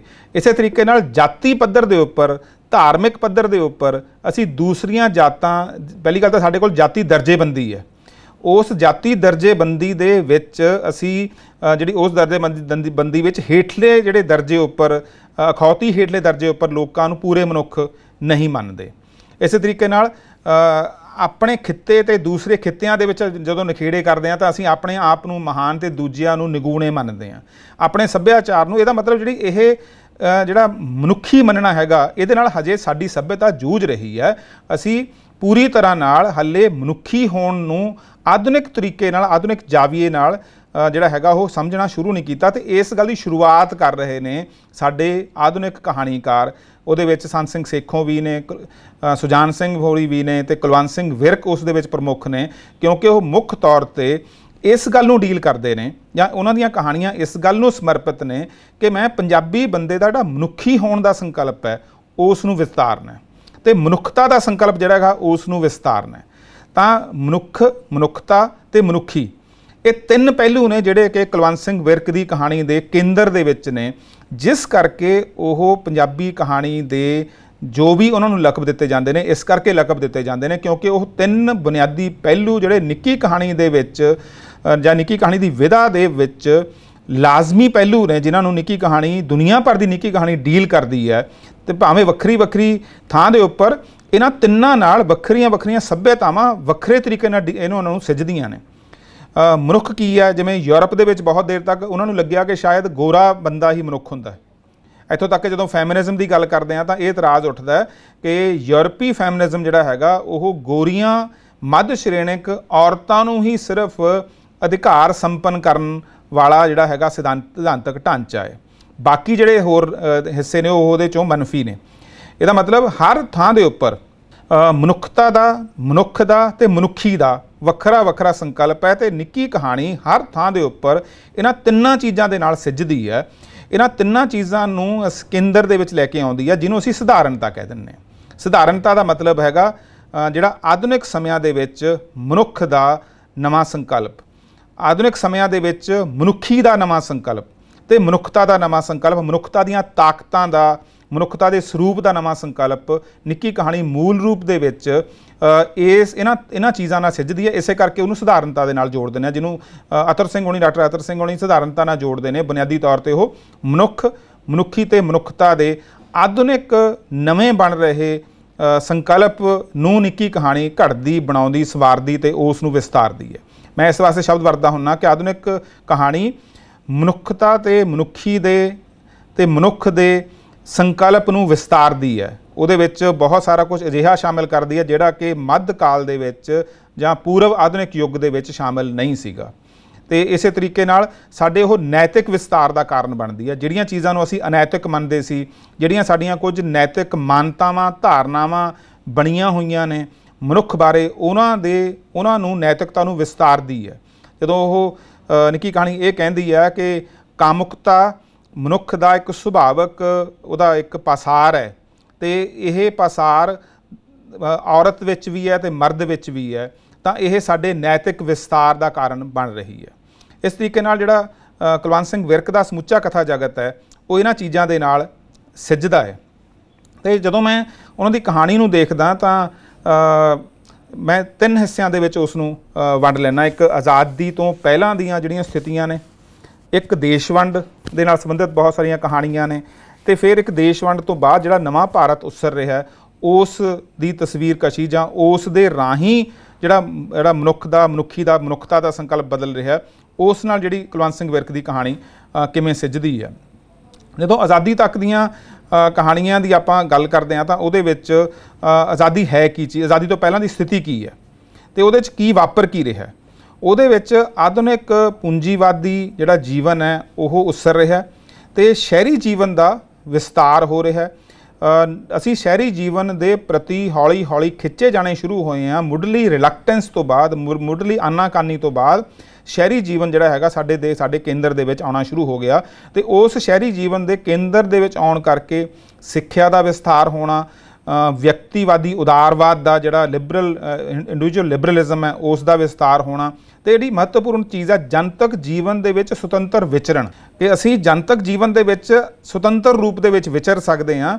ਜਿਹੜੀਆਂ ਲਿੰਗ, ਜਾਤ ਤੇ ਧਰਮ ਤੇ ਜਮਾਤੀ ਜਿਹੜੇ ਵਿਤਕਰੇ ਜਾਂ ਵਖਰੇਵੇਂ ਨੇ, ਉਹਨਾਂ ਤੋਂ ਹਟ ਕੇ ਅਸੀਂ ਆਧੁਨਿਕ ਜੀਵਨ ਦੇ ਵਿੱਚ ਜਨਤਕ ਰੂਪ ਦੇ ਵਿੱਚ ਵਿਚਰਦੇ ਹਾਂ। ਆਧੁਨਿਕਤਾ ਇਹ ਹੁੰਦੀ ਹੈ ਕਿ ਜਿਹੜੀਆਂ ਤੁਹਾਡੀਆਂ ਪੂਰਵ ਆਧੁਨਿਕ ਯੁੱਗ ਦੇ ਵਿੱਚ ਬਣੀਆਂ ਹੋਈਆਂ ਪਛਾਣਾਂ ਨੇ, ਉਹ ਖੁਰਨੀਆਂ ਸ਼ੁਰੂ ਹੁੰਦੀਆਂ ਨੇ। ਤੇ ਜਿਹੜਾ ਵਿਚਰਣ ਹੈਗਾ, ਇੱਥੋਂ ਤੱਕ ਕਿ ਸਾਡੇ ਕੋਲ ਤਾਂ ਜਿਹੜਾ ਰਹਿਣ ਦਾ ਸਿਸਟਮ ਰਿਹਾ, ਹੁਣ ਤੱਕ ਵੀ ਕਿਸੇ ਰੂਪ ਦੇ ਵਿੱਚ ਉਹ ਚੱਲ ਰਿਹਾ ਤਾਂ ਹੀ ਨਿੱਕੀ ਕਹਾਣੀ ਇਸ ਕਰਕੇ ਸਾਰਥਕ ਹੈ ਕਿ ਸਾਡੇ ਕੋਲ ਬਣਤਰਾਂ ਹਾਲੇ ਮੌਜੂਦ ਨੇ, ਜਿਨ੍ਹਾਂ ਬਣਤਰਾਂ ਨੂੰ ਤੋੜਨ ਵਾਸਤੇ ਨਿੱਕੀ ਕਹਾਣੀ ਹੋਂਦ ਵਿੱਚ ਆਈ ਸੀ। ਸਾਡੇ ਪਿੰਡਾਂ ਦੇ ਵਿੱਚ ਜਿਹੜਾ ਲਹਿੰਦਾ ਪਾਸਾ ਤੇ ਚੜ੍ਹਦਾ ਪਾਸਾ, ਜਾਤੀ ਤੌਰ ਤੇ ਵਸੇਬੇ ਦੇ ਵਿੱਚ ਵੰਡ ਜਿਹੜੀ ਹੈਗੀ ਆ, ਉਹ ਜਾਤੀ ਆਧਾਰਾਂ ਦੇ ਉੱਪਰ ਹੁਣ ਤੱਕ ਮੌਜੂਦ ਹੈ। ਬਹੁਤ ਸਾਰੀਆਂ ਥਾਵਾਂ ਦੇ ਉੱਪਰ ਹੁਣ ਵੀ ਜਦੋਂ ਅਸੀਂ ਕਹਿੰਦੇ ਗੁਰਦੁਆਰੇ ਵੱਖਰੇ ਵੱਖਰੇ ਨੇ ਅੱਡ ਅੱਡ ਜਾਤਾਂ ਦੇ ਵੱਖਰੇ ਵੱਖਰੇ ਨੇ, ਇਹਦਾ ਮਤਲਬ ਜਨਤਕ ਵਿਚਰਨ ਸਥਾਨ ਦੇ ਉੱਪਰ ਅਸੀਂ ਹੁਣ ਵੀ ਜਾਤੀ ਆਧਾਰਿਤ ਨਿਖੇੜਾ ਕਰਕੇ ਚੱਲਦੇ ਹਾਂ। ਇਸੇ ਤਰੀਕੇ ਨਾਲ ਜਦੋਂ ਗੁਰਦੁਆਰਾ ਸਾਹਿਬ ਦੇ ਵਿੱਚ ਬੈਠਦੇ ਹਾਂ, ਇੱਕ ਪਾਸੇ ਔਰਤਾਂ ਬੈਠਦੀਆਂ ਨੇ, ਇੱਕ ਪਾਸੇ ਮਰਦ ਬੈਠਦੇ ਨੇ, ਇਹਦਾ ਮਤਲਬ ਉਸ ਥਾਂ ਨੂੰ ਵੀ ਅਸੀਂ ਆਪਣੀ ਜਿਹੜੀ ਪੁਰਾਣੀ ਲਿੰਗਕ ਵੰਡ ਹੈ, ਉਸ ਦੇ ਮੁਤਾਬਕ ਉਹਦੇ ਵਿੱਚ ਨਿਖੇੜਾ ਕਰ ਲੈਂਦੇ ਹਾਂ, ਉੱਥੇ ਅਸੀਂ ਰਲ ਮਿਲ ਕੇ ਨਹੀਂ ਬੈਠਦੇ ਹੈਗੇ। ਜਿੱਥੇ ਇੱਕ ਧਰਮ ਦੇ ਲੋਕ ਜਾ ਸਕਦੇ ਹੁੰਦੇ ਨੇ, ਉੱਥੇ ਦੂਸਰੇ ਧਰਮ ਦੇ ਲੋਕ ਜਾ ਜਾ ਨਹੀਂ ਸਕਦੇ ਹੁੰਦੇ। ਇਸ ਕਿਸਮ ਦੇ ਜਿਹੜੇ ਨਿਖੜਵੇਂ ਕਿ ਜਿਹੜੇ ਜਨਤਕ ਵਿਚਰਨ ਸਥਲ ਨੇ ਸਥਲ ਨੇ, ਉਹਨਾਂ ਉੱਪਰ ਜਿਹੜਾ ਨਖੇੜਾ ਹੈਗਾ, ਸਾਡੇ ਜੀਵਨ ਦੇ ਵਿੱਚ ਹਾਲੇ ਤੱਕ ਮੌਜੂਦ ਹੈ। ਤੇ ਕੁਲਵੰਤ ਸਿੰਘ ਵਿਰਕ ਹੁਣੀ ਕੀ ਕਰ ਰਹੇ ਨੇ? ਕਿ ਉਹ ਇਹਨਾਂ ਨਖੇੜਿਆਂ ਤੋਂ ਉੱਪਰ ਜਿਹੜੇ ਜਨਤਕ ਵਿਚਰਨ ਸਥਲ ਨੇ, ਉਹਨਾਂ ਨੂੰ ਉਹ ਨਾ ਕੇਵਲ ਨੋਟਿਸ ਕਰਦੇ ਨੇ ਬਲਕਿ ਉਹ ਇਹ ਕਹਿੰਦੇ ਨੇ ਕਿ ਇਹ ਇੱਕ ਸੁਭਾਵਕ ਕਿਰਿਆ ਹੈਗੀ ਆ ਕਿ ਲੋਕ ਹੁਣ ਇਹਨਾਂ ਨਖੇੜਿਆਂ ਤੋਂ ਉੱਪਰ ਉੱਠ ਕੇ ਜਨਤਕ ਰੂਪ ਦੇ ਵਿੱਚ, ਸਾਂਝੇ ਰੂਪ ਦੇ ਵਿੱਚ ਵਿਚਰਨਗੇ। ਇੱਕ ਜਾਤ ਦਾ ਬੰਦਾ ਦੂਜੀ ਜਾਤ ਵਾਲੇ ਨਾਲ ਮੰਜੇ ਦੇ ਉੱਪਰ ਬੈਠੂਗਾ ਤੇ ਉਹ ਬੱਸ ਵਿੱਚ ਬੈਠੂਗਾ, ਉਹ ਗਰੀਬ ਹੋਵੇ, ਅਮੀਰ ਹੋਵੇ, ਉਹ ਬੱਸ ਵਿੱਚ ਬੈਠੂਗਾ ਤੇ ਉਹਨਾਂ ਦੀਆਂ ਆਪਸ ਦੇ ਵਿੱਚ ਜਨਤਕ ਸਾਂਝਦਾਰੀਆਂ ਵੀ ਹੋਣਗੀਆਂ। ਇੱਕ ਸਾਂਝ ਨਾਮੀ ਕਹਾਣੀ ਦੇ ਵਿੱਚ ਉਹਨਾਂ ਨੇ ਇਸ ਤਰੀਕੇ ਨਾਲ ਦੁੱਖ ਦੀ ਸਾਂਝ ਵੀ ਗੱਲ, ਦੀ ਗੱਲ ਵੀ ਕੀਤੀ ਹੈ। ਜਿਹੜਾ ਕਿ ਪਹਿਲਾਂ ਅਸੀਂ ਸ਼ਾਇਦ ਇਸ ਗੱਲ ਦੀ ਕਲਪਨਾ ਨਹੀਂ ਸੀ ਕਰ ਸਕਦੇ ਕਿ ਦੁੱਖ ਵੀ ਸਾਂਝ ਦਾ ਆਧਾਰ ਹੋ ਸਕਦਾ ਹੈ। ਦੋ ਵੱਖ-ਵੱਖ ਜਾਤਾਂ ਤੇ ਵਰਗਾਂ ਦੇ ਜਿਹੜੇ ਲੋਕ ਨੇ, ਉਹ ਆਪਸ ਵਿੱਚ ਗਲੇ ਮਿਲਦੇ ਨੇ ਦੋ ਅਲੱਗ-ਅਲੱਗ ਪਾਤਰ ਜਿਨ੍ਹਾਂ ਨੇ ਉਸੇ ਦੁੱਖ ਨੂੰ ਹੰਢਾਇਆ ਹੋਇਆ, ਉਹਨਾਂ ਦੇ ਵਿੱਚ ਦੁੱਖ ਦੀ ਸਾਂਝ ਬਣਦੀ ਹੈ। ਇਹ ਸਾਂਝ ਜਿਹੜੀ ਹੈਗੀ ਆ, ਇਹ ਸਾਡੇ ਪੂਰਵ ਆਧੁਨਿਕ ਯੁੱਗ ਦੇ ਵਿੱਚ ਇਸ ਦਾ ਹੋ ਸਕਦਾ ਇਹ ਹੋਂਦ ਵਿੱਚ ਹੋਵੇ, ਪਰ ਸਾਹਿਤਕ ਪ੍ਰਵਚਨ ਦੇ ਵਿੱਚ ਇਸ ਨੂੰ ਕੋਈ ਜ਼ਿਕਰਯੋਗ ਸਥਾਨ ਜਿਹੜਾ ਹੈਗਾ ਉਹ ਨਹੀਂ ਮਿਲਦਾ ਇਸ ਸਾਂਝ ਨੂੰ। ਇਹ ਮੈਂ ਕਹਿੰਦਾ ਹਾਂ ਕਿ ਬਹੁਤ ਸਾਰੀਆਂ ਚੀਜ਼ਾਂ ਜੀਵਨ ਦੇ ਵਿੱਚ ਹੁੰਦੀਆਂ ਨੇ ਪਰ ਸਾਹਿਤਕ ਪ੍ਰਵਚਨ ਦੇ ਵਿੱਚ ਉਹ ਰਜਿਸਟਰ ਨਹੀਂ ਕੀਤੀਆਂ ਜਾਂਦੀਆਂ। ਤੇ ਲੇਖਕ ਜਿਹੜੇ ਹੈਗੇ ਨੇ ਉਹ ਇਹੋ ਜੀਆਂ ਚੀਜ਼ਾਂ ਨੂੰ ਵੀ ਰਜਿਸਟਰ ਕਰਦੇ ਨੇ ਜਿਹੜੀਆਂ ਜੀਵਨ 'ਚ ਮੌਜੂਦ ਹੁੰਦੀਆਂ ਨੇ ਪਰ ਸਾਹਿਤਕ ਪ੍ਰਵਚਨ ਜਿਹੜਾ ਹੈਗਾ ਉਸ ਤੋਂ ਪਾਸੇ ਪਈਆਂ ਹੁੰਦੀਆਂ ਨੇ। ਇਸ ਦੀਆਂ ਬਹੁਤ ਸਾਰੀਆਂ ਉਦਾਹਰਨਾਂ ਦਿੱਤੀਆਂ ਜਾ ਸਕਦੀਆਂ ਨੇ ਜਿਨ੍ਹਾਂ ਦੇ ਹੁਣ ਲਾਲਚ ਵਿੱਚ ਮੈਂ ਨਹੀਂ ਪਾਉਂਗਾ ਪਰ ਅ, ਕੁਲਵੰਤ ਸਿੰਘ ਵਿਰਕ ਦੀਆਂ ਕਹਾਣੀਆਂ ਜਿਹੜੀਆਂ ਨੇ ਜਿਹੜਾ ਉਹ ਸਪੇਸ ਸਿਰਜਦੀਆਂ ਨੇ ਉਸ ਸਪੇਸ ਦੇ ਵਿੱਚ ਜਿਹੜਾ ਜਿਹੜਾ ਜਾਤ, ਲਿੰਗ, ਧਰਮ ਦੇ ਆਧਾਰ ਦੇ ਉੱਪਰ ਜਿਹੜਾ ਸਾਡਾ ਪਹਿਲਾਂ ਨਖੇੜਾ ਹੁੰਦਾ ਸੀਗਾ, ਉਸ ਨਖੇੜੇ ਤੋਂ ਮੁਕਤ ਹੋ ਕੇ ਬੰਦੇ ਇੱਕ ਦੂਜੇ ਦੇ ਨਾਲ ਵਿਚਰਨਾ ਸ਼ੁਰੂ ਕਰਦੇ ਨੇ।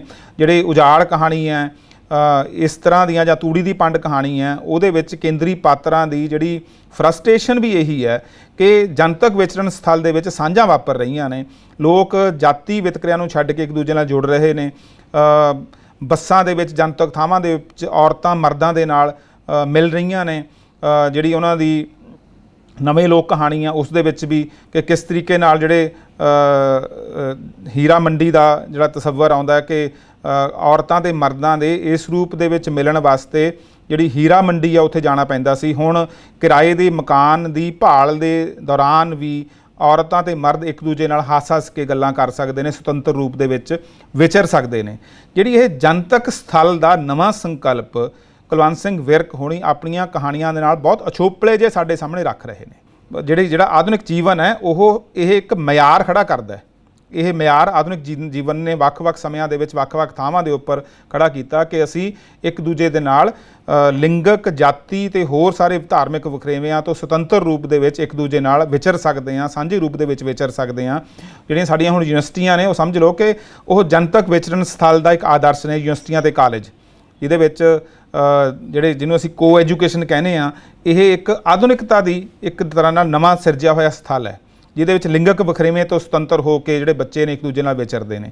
ਇਸੇ ਤਰੀਕੇ ਨਾਲ ਉਹਦੇ ਵਿੱਚ ਕੋਈ ਜਾਤੀ ਵਿਤਕਰਾ ਵੀ ਨਹੀਂ ਹੁੰਦਾ, ਧਰਮ, ਧਾਰਮਿਕ ਵਿਤਕਰਾ ਵੀ ਨਹੀਂ ਹੁੰਦਾ, ਜਿੰਨੀਆਂ ਜਨਤਕ ਥਾਵਾਂ ਅਸੀਂ ਦੇਖਦੇ ਹਾਂ, ਬੱਸਾਂ ਦੇ ਵਿੱਚ ਤੁਸੀਂ ਇਸ ਵਿਤਕਰੇ ਨੂੰ ਕੰਟੀਨਿਊ ਨਹੀਂ ਕਰ ਸਕਦੇ। ਕੁਲਵੰਤ ਸਿੰਘ ਵਿਰਕੋਣੀ ਇੱਕ ਸਾਂਝੇ ਜਨਤਕ ਵਿਚਰਨ ਸਥਲ ਦੀ ਕਲਪਨਾ ਪੰਜਾਬੀ ਬੰਦੇ ਨੂੰ ਦਿੰਦੇ ਨੇ ਆਪਣੀਆਂ ਕਹਾਣੀਆਂ ਦੇ ਰਾਹੀਂ। ਤੇ ਉੱਥੇ ਉਹ ਆਪਸ ਦੇ ਵਿੱਚ ਮਿਲਦੇ ਜੁਲ ਜੁਲਦੇ ਹੋਏ ਤੁਹਾਨੂੰ ਨਜ਼ਰ ਆਉਣਗੇ। ਤਾਂ ਇਸ ਰੂਪ ਦੇ ਵਿੱਚ ਮੁੱਢਲੀਆਂ ਕਹਾਣੀਆਂ ਦੇ ਵਿੱਚ ਜਿਹੜੀ ਇਸ ਤਰ੍ਹਾਂ ਦਾ ਵਿਚਰਨ ਸਥਲ ਜਿਹੜਾ ਬਣ ਰਿਹਾ ਹੈ, ਜਿਹੜਾ ਭਾਵੇਂ ਅੰਗਰੇਜ਼ੀ ਰਾਜ ਦੇ ਵਿੱਚ ਹੀ ਉਹ ਵਿਚਰਨ ਸਥਲ ਬਣਦਾ ਪਿਆ ਤੇ ਕੁੜੀਆਂ ਜਿਹੜੀਆਂ ਨੇ ਉਹ ਆਪਣੇ ਘਰਾਂ ਤੋਂ ਬਾਹਰ ਜੀਵਨ ਦੇ ਵਿੱਚ ਸੰਘਰਸ਼ ਕਰਦੀਆਂ ਹੋਈਆਂ, ਜਨਤਕ ਵਿਚਰਨ ਸਥਲ ਦੇ ਵਿੱਚ ਐਂਟਰ ਕਰ ਰਹੀਆਂ ਨੇ। ਮਰਦਾਂ ਨਾਲ ਉਹਨਾਂ ਦਾ ਜਿਹੜਾ ਮੇਲ ਮਿਲਾਪ ਹੈ ਮੁੰਡਿਆਂ ਨਾਲ ਉਹ ਹੋ ਰਿਹਾ ਹੈ। ਇਹਨਾਂ ਕਹਾਣੀਆਂ ਨੂੰ ਉਹਨਾਂ ਇਹ ਇਹ ਕਹਾਣੀਆਂ ਉਹਨਾਂ ਨੂੰ ਰਜਿਸਟਰ ਕਰਦੀਆਂ ਨੇ ਤੇ ਜੀਵਨ ਦੀ ਜਿਹੜੀ ਸਹਿਜ ਗਤੀ ਹੈਗੀ ਆ ਜਨਤਕ ਵਿਚਰਨ ਸਥਲ ਦੇ ਉਸਰਨ ਦੀ, ਜਿਸ ਦੇ ਵਿੱਚ ਬੰਦਾ ਬੰਦਾ ਹੋਣ ਕਰਕੇ ਦਾਖਲ ਹੁੰਦਾ ਹੈ ਤੇ ਉਹਦੀ ਜਿਹੜੀ ਆਪਣੀ ਜਾਤੀ ਪਛਾਣ ਹੈ, ਜਿਹੜੀ ਉਸ ਦੀ ਆਪਣੀ ਲਿੰਗਕ ਪਛਾਣ ਹੈ, ਉਹ ਹੌਲੀ-ਹੌਲੀ ਬੈਕਗ੍ਰਾਉਂਡ ਦੇ ਵਿੱਚ ਜਾਣਾ ਸ਼ੁਰੂ ਕਰ ਦਿੰਦੀ ਹੈ। ਜਦੋਂ ਅਸੀਂ ਦੇਸ਼ ਵੰਡ ਦੀਆਂ ਕਹਾਣੀਆਂ ਨੂੰ ਦੇਖਦੇ ਹਾਂ, ਤਾਂ ਦੇਸ਼ ਵੰਡ ਦੀਆਂ ਕਹਾਣੀਆਂ ਦੇ ਵਿੱਚ ਜਿਹੜਾ ਮੁੱਖ ਸੂਤਰ ਦੋ ਨੇ। ਇੱਕ ਮੁੱਖ ਸੂਤਰ ਹੈ ਕਿ ਇੱਕ ਮਿੱਧੇ ਹੋਏ ਮਨੁੱਖ ਦਾ, ਇੱਕ ਲਿਤਾੜੇ ਹੋਏ ਮਨੁੱਖ ਦਾ ਇੱਕ ਬਰਬਾਦ ਕੀਤੇ ਹੋਏ ਮਨੁੱਖ ਦਾ ਇਮੇਜ ਹੈ ਜਿਸ ਦੇ ਵਿੱਚ ਬਹੁਤ ਸਾਰੀਆਂ ਜਿਹੜੀਆਂ ਕਹਾਣੀਆਂ ਨੇ, ਉਹਨਾਂ ਦੀ ਗੱਲ ਕੀਤੀ ਜਾ ਸਕਦੀ ਹੈ। ਪਰ ਕਮਾਲ ਦੀ ਗੱਲ ਇਹ ਹੈ ਕਿ ਇਹ ਗੱਲ ਸਾਡੇ ਸੈਮੀਨਾਰ ਦੇ ਵਿੱਚ ਵੀ ਸਾਹਮਣੇ ਆਈ ਸੀ ਕਿ ਜਿਹੜੇ ਕੁਲਵੰਤ ਸਿੰਘ ਵਿਰਕ, ਉਹਨਾਂ ਦਾ ਫੋਕਸ ਵੰਡ ਦਾ ਦੁਖਾਂਤ ਜਿਹੜਾ ਉਸ ਦੇ ਬਾਹਰ ਵਰਤੀ ਭੌਤਿਕ ਵੇਰਵੇ ਨਹੀਂ ਹੈਗੇ। ਉਹਨਾਂ ਵੰਡ ਦੇ ਦੁਖਾਂਤ ਨੂੰ ਉਹ ਇੱਕ ਹੋਰ ਜਾਵੀਏ ਤੋਂ ਦੇਖਦੇ ਨੇ ਜਿਹੜਾ ਕਿ ਮਨੁੱਖ ਦੀ ਮਾਨਸਿਕਤਾ ਦੇ ਨਾਲ ਜੁੜਿਆ ਹੋਇਆ। ਲਾਸ਼ਾਂ ਦਾ ਵੇਰਵਾ ਉਹਨਾਂ ਦੀ ਇੱਕ ਕਹਾਣੀ ਮੁਰਦੇ ਦੀ ਤਾਕਤ ਦੇ ਵਿੱਚ ਆਉਂਦਾ ਪਰ ਉੱਥੇ ਵੀ ਲਾਸ਼ਾਂ ਦੇ ਰਾਹੀਂ ਜਿਹੜੀ ਗੱਲ ਕੀਤੀ ਗਈ ਹੈ, ਉਹ ਅਸਲ 'ਚ ਉਸ ਬੰਦੇ ਦੀ ਗੱਲ ਨਹੀਂ ਹੈਗੀ ਜਿਹੜਾ ਮਰਿਆ ਪਿਆ। ਇਹ ਉਸ ਦੀ ਗੱਲ ਹੈ ਜਿਹੜਾ ਕਿ ਉਸ ਮਰੇ ਹੋਏ ਬੰਦੇ ਦੀ ਧਾਰਮਿਕ ਪਛਾਣ ਕਰਕੇ ਇਸ ਗੱਲੋਂ ਸੁਰਖਰੂ ਮਹਿਸੂਸ ਕਰਦਾ ਕਿ ਇਹ ਮੇਰੇ ਧਰਮ ਦਾ ਬੰਦਾ ਨਹੀਂ ਹੈਗਾ। ਤਾਂ ਕਹਾਣੀ, ਇਹ ਉਹ- ਉਹਨਾਂ ਫੌਜੀਆਂ ਦੀ ਕਹਾਣੀ ਹੈ। ਉਸ ਮਰੇ ਹੋਏ ਬੰਦੇ ਦੀ ਕਹਾਣੀ ਨਹੀਂ ਹੈਗੀ, ਇਹ ਉਹ ਲਾਸ਼ ਦੀ ਕਹਾਣੀ ਨਹੀਂ ਹੈਗੀ, ਇਹ ਜ਼ਿੰਦਾ ਲੋਕਾਂ ਦੀ ਕਹਾਣੀ ਹੈ, ਜਿਹੜਾ ਲਾਸ਼ਾਂ ਦੇ ਵਿੱਚੋਂ ਦੀ ਉਤਸ਼ਾਹ ਲੱਭ ਰਹੇ ਨੇ ਜਾਂ ਜਿਹੜੇ ਲਾਸ਼ਾਂ ਦੇ ਵਿੱਚੋਂ ਦੀ ਸੰਤੁਸ਼ਟੀ ਜਾਂ ਸੁਰੱਖਿਅਤਾ ਲੱਭ ਰਹੇ ਨੇ। ਤਾਂ ਉਹਨਾਂ ਦਾ ਜਿਹੜਾ ਫੋਕਸ ਹੈਗਾ, ਉਹ ਮਾਨਸਿਕ ਤੇ ਬਹੁਤ ਹੀ ਸੂਖਮ ਵੇਰਵਿਆਂ ਦੇ ਉੱਪਰ ਹੈ। ਜਦੋਂ ਅਸੀਂ ਇਹਦੇ ਬਰਾਬਰ ਅਸੀਂ ਜਦੋਂ ਕਹਾਣੀ ਦੇਖਦੇ ਹਾਂ ਉਹਨਾਂ ਦੀ, ਜਿਹੜੀ ਕਿ ਬਹੁਤ ਹੀ ਮਸ਼ਹੂਰ ਕਹਾਣੀ ਹੈ, ਜਿਹੜੀ ਖੱਬਲ ਦੀ ਗੱਲ ਕਰਦੇ ਆ ਹੈਨਾ, ਉਹ ਕਹਾਣੀ ਮਿੱਦੀ ਹੋਈ ਮਨੁੱਖਤਾ ਦੇ ਦੁਬਾਰਾ ਤੋਂ ਪੁਨਰਜੀਵਿਤ ਹੋ ਜਾਣ ਦੇ ਜਿਹੜੇ ਭਾਵ ਦੇ ਉੱਪਰ ਜ਼ੋਰ ਦਿੰਦੀ ਹੈ ਕਿ ਮਨੁੱਖਤਾ ਨੂੰ ਜਿੰਨਾ ਮਰਜ਼ੀ ਲਤਾੜਿਆ ਜਾਵੇ ਜਿਹੜੀ ਦੇਸ਼ ਵੰਡ ਹੈ, ਉਸਨੇ ਬੰਦਿਆਂ ਨੂੰ ਇੱਕ ਤਰ੍ਹਾਂ ਨਾਲ ਇੱਕ ਇਹੋ ਜੀ ਬੇਗਾਨਗੀ ਦੇ ਵਿੱਚ ਵੀ ਧੱਕਿਆ। ਜਿਸ ਬੇਗਾਨਗੀ ਦੇ ਵਿੱਚ ਮੈਨੂੰ ਜਾਣਨਾ ਵਰਗੀਆਂ ਜਿਹੜੀਆਂ ਕਹਾਣੀਆਂ ਨੇ, ਹੈਨਾ, ਉਹ ਲਿਖੀਆਂ ਜਾਂਦੀਆਂ ਨੇ। ਬੇਗਾਨਗੀ ਦਾ ਆਲਮ ਇਹ ਹੈ। ਆਲਮ ਜਿਹੜਾ ਹੈਗਾ, ਉਹ ਇਹ ਵੀ ਹੈ ਕਿ ਜਿਹੜਾ ਇੱਕ ਚੋਰ ਹੈ, ਮੈਨੂੰ ਉਹ ਕਹਾਣੀ ਦਾ ਨਾਮ ਵਿਸਰ ਗਿਆ। ਉਹ ਆਪਣੇ ਧਰਮ ਦੇ ਲੋਕਾਂ ਦੇ ਵਿੱਚ ਹੁੰਦਾ ਹੋਇਆ ਵੀ ਉਹ ਆਪਣੇ ਆਪ ਨੂੰ ਬੇਗਾਨਾ ਮਹਿਸੂਸ ਕਰਦਾ ਕਿਉਂਕਿ ਉਹ ਥਾਵਾਂ ਨੂੰ ਨਹੀਂ ਜਾਣਦਾ ਹੈ ਨਾ ਹੁਣ ਥਾਵਾਂ ਨਾਲ ਬੰਦੇ ਦਾ ਆਪਣਾ ਇੱਕ ਬਹੁਤ ਹੀ ਵਿਅਕਤੀਗਤ ਮਾਨਸਿਕ ਸੰਬੰਧ ਹੁੰਦਾ ਹੈ। ਥਾਵਾਂ ਬਾਹਰ ਹੁੰਦੀਆਂ ਨੇ, ਪਰ ਥਾਵਾਂ ਤੁਹਾਡੇ ਅੰਦਰ ਵੀ ਹੁੰਦੀਆਂ ਨੇ। ਜਿਹੜੀਆਂ ਉਹ ਅੰਦਰਲੀਆਂ ਥਾਵਾਂ ਨੇ, ਉਸ ਚੋਰ ਦੇ, ਉਹ ਉਹਦੇ ਕੋਲੋਂ ਖੋਹ ਲਈਆਂ ਗਈਆਂ ਦੇਸ਼ਵੰਡ ਨੇ ਖੋਹ ਲਈਆਂ। ਉਹ ਉਹਨਾਂ ਥਾਵਾਂ ਦੇ ਨਾਲ ਸਾਮਾ ਮਹਿਸੂਸ ਨਹੀਂ ਕਰ ਰਿਹਾ, ਉਹਨਾਂ ਦੇ ਵਿੱਚ ਬੇਗਾਨਾ ਮਹਿਸੂਸ ਕਰਦਾ ਪਿਆ, ਇਸ ਕਰਕੇ ਉਹ ਵਾਪਸ ਪਰਤੇ ਆਉਂਦਾ।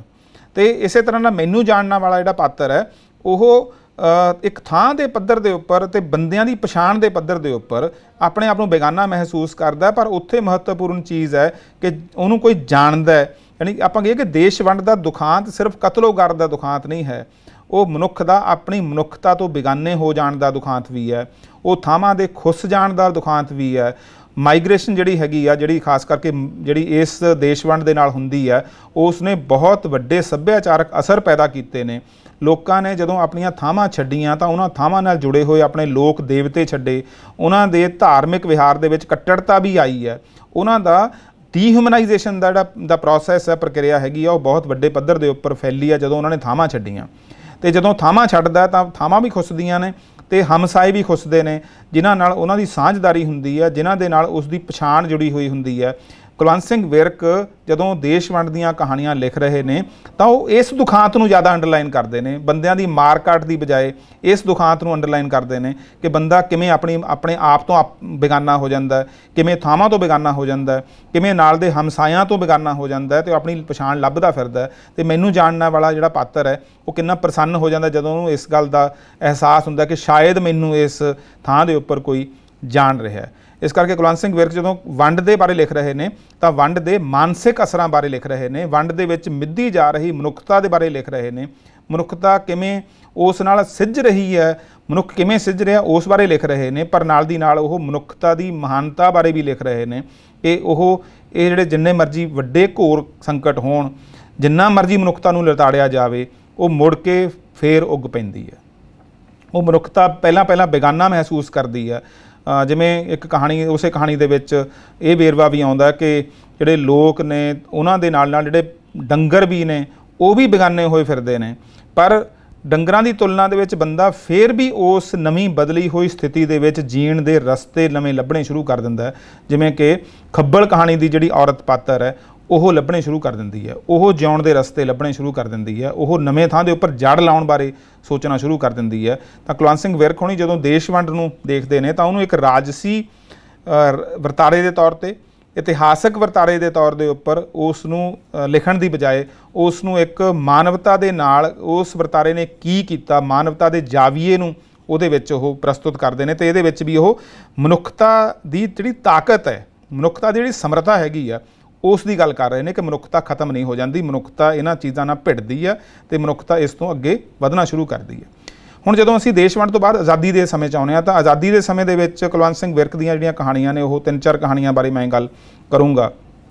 ਇੱਕ ਕਹਾਣੀ ਜਿਹੜੀ ਹੈਗੀ ਆ, ਉਹ ਕਹਾਣੀ ਹੈ ਜਿਸ ਦੇ ਵਿੱਚ ਇੱਕ ਵਿਅਕਤੀ ਆਪਣੇ ਆਪ ਨੂੰ ਨਿਥਾਵਾਂ ਮਹਿਸੂਸ ਕਰਦਾ ਏ ਤੇ ਉਹਦੀ ਜ਼ਮੀਨ ਉਸ ਨੂੰ ਠੀਕ ਜ਼ਮੀਨ ਅਲਾਟ ਨਹੀਂ ਹੋਈ। ਉਸ ਨੇ ਕਿਤੇ ਹੋਰ ਜਾ ਕੇ ਆਪਣੀ ਜਿਹੜੀ ਜ਼ਮੀਨ ਹੈਗੀ ਆ, ਉਸ ਜ਼ਮੀਨ ਦੀ ਦਰੁਸਤੀ ਕਰਾਉਣੀ ਆ, ਕਿਉਂਕਿ ਗਲਤ ਜ਼ਮੀਨ ਉਸ ਨੂੰ ਅਲਾਟ ਹੋ ਗਈ ਹੈ ਉਹ ਬੱਸ ਦੇ ਵਿੱਚ ਬੈਠਦਾ ਏ ਤੇ ਬੱਸ ਦੇ ਵਿੱਚ ਜਿਹੜਾ ਕਿਸਾਨ ਬੈਠਦਾ ਜਦੋਂ ਤਾਂ ਉਸ ਦੀ ਜਿਹੜੀ ਜਮਾਤੀ ਸਥਿਤੀ ਹੈ ਉਸ ਦੀ ਜਮਾਤੀ ਸਥਿਤੀ ਨਿਗੂਣੀ ਹੋਣ ਕਰਕੇ ਉਸ ਕਹਾਣੀ ਦੇ ਵਿੱਚ ਉਸ ਪਾਤਰ ਨੂੰ ਇੱਕ ਇਹੋ ਜੀ ਸੀਟ ਦੇ ਦਿੱਤੀ ਜਾਂਦੀ ਹੈ, ਜਿਹੜੀ ਸੀਟ ਦੇ ਉੱਪਰ ਉਲਟੀ ਕੀਤੀ ਹੋਈ ਹੈ। ਤਾਂ ਇਹ ਜਿਹੜੀ ਨਵੀਂ ਭਾਰਤ ਦੇ ਆਜ਼ਾਦ ਹੋਣ ਤੋਂ ਬਾਅਦ ਵੀ ਜਿਹੜੀ ਇਹ ਸਥਿਤੀ ਬਣੀ ਹੋਈ ਆ ਉਸ ਵੱਲ ਵੀ ਕੁਲਵੰਤ ਸਿੰਘ ਵਿਰਕ ਹੋਣੀ ਇੱਕ ਤਰ੍ਹਾਂ ਨਾਲ ਉਹਦਾ ਨੋਟਿਸ ਲੈਂਦੇ ਨੇ ਕਿ ਜਿਹੜੀ ਆਜ਼ਾਦੀ ਹੈਗੀ ਆ ਸਾਰਿਆਂ ਦੇ ਨਾਲ ਇੱਕੋ ਜਿਹੇ ਤਰੀਕੇ ਨਾਲ ਨਹੀਂ ਵਾਪਰੀ।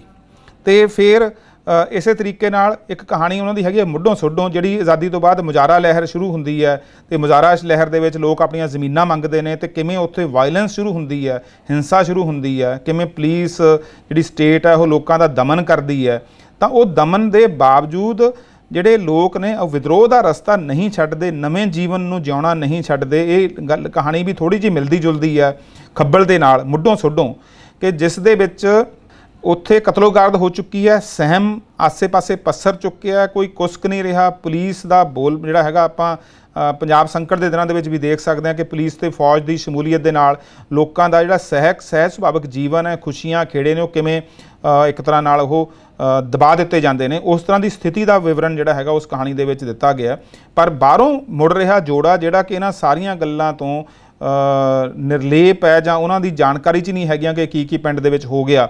ਉਹ ਕਿਵੇਂ ਉਸੇ ਹੀ ਪ੍ਰਸੰਨਤਾ ਦੇ ਨਾਲ, ਉਸੇ ਜਿਹੜੀ ਪਹਿਲਾਂ ਦੀ ਜੀਵਨ ਦੀ ਖੇੜੇ ਵਾਲੀ ਅਵਸਥਾ ਹੈਗੀ, ਅਵਸਥਾ ਉਸ ਦੇ ਵਿੱਚੋਂ ਦੀ ਕਿਵੇਂ ਉਹ ਪਿੰਡ ਦੇ ਵਿੱਚ ਦੁਬਾਰਾ ਦਾਖਲ ਹੋ ਰਹੇ ਨੇ, ਤਾਂ ਕੁਲਵੰਤ ਸਿੰਘ ਵਿਰਕ ਉੱਥੇ ਇਹ ਇੱਕ ਤਰ੍ਹਾਂ ਨਾਲ ਅਰਥ ਪੈਦਾ ਕਰਦੇ ਨੇ ਕਿ ਸੱਤਾ ਜਿਹੜੀ ਹੈਗੀ ਆ, ਭਾਵੇਂ ਆਜ਼ਾਦ ਸੱਤਾ ਹੈ, ਉਹ ਜਿੰਨਾ ਮਰਜ਼ੀ ਤਸ਼ੱਦਦ ਲੋਕਾਂ ਦੇ ਉੱਪਰ ਕਰ ਦੇਵੇ, ਲੋਕ ਉਸ ਤਸ਼ੱਦਦ ਤੋਂ ਉੱਭਰ ਕੇ ਨਵੇਂ ਸਿਰਿਓਂ ਜੀਵਨ ਦੇ ਰਸਤੇ ਉੱਪਰ ਤੁਰ ਪੈਂਦੇ ਨੇ ਤੇ ਜੀਵਨ ਨੂੰ ਪੈਦਾ ਕਰਦੇ ਨੇ।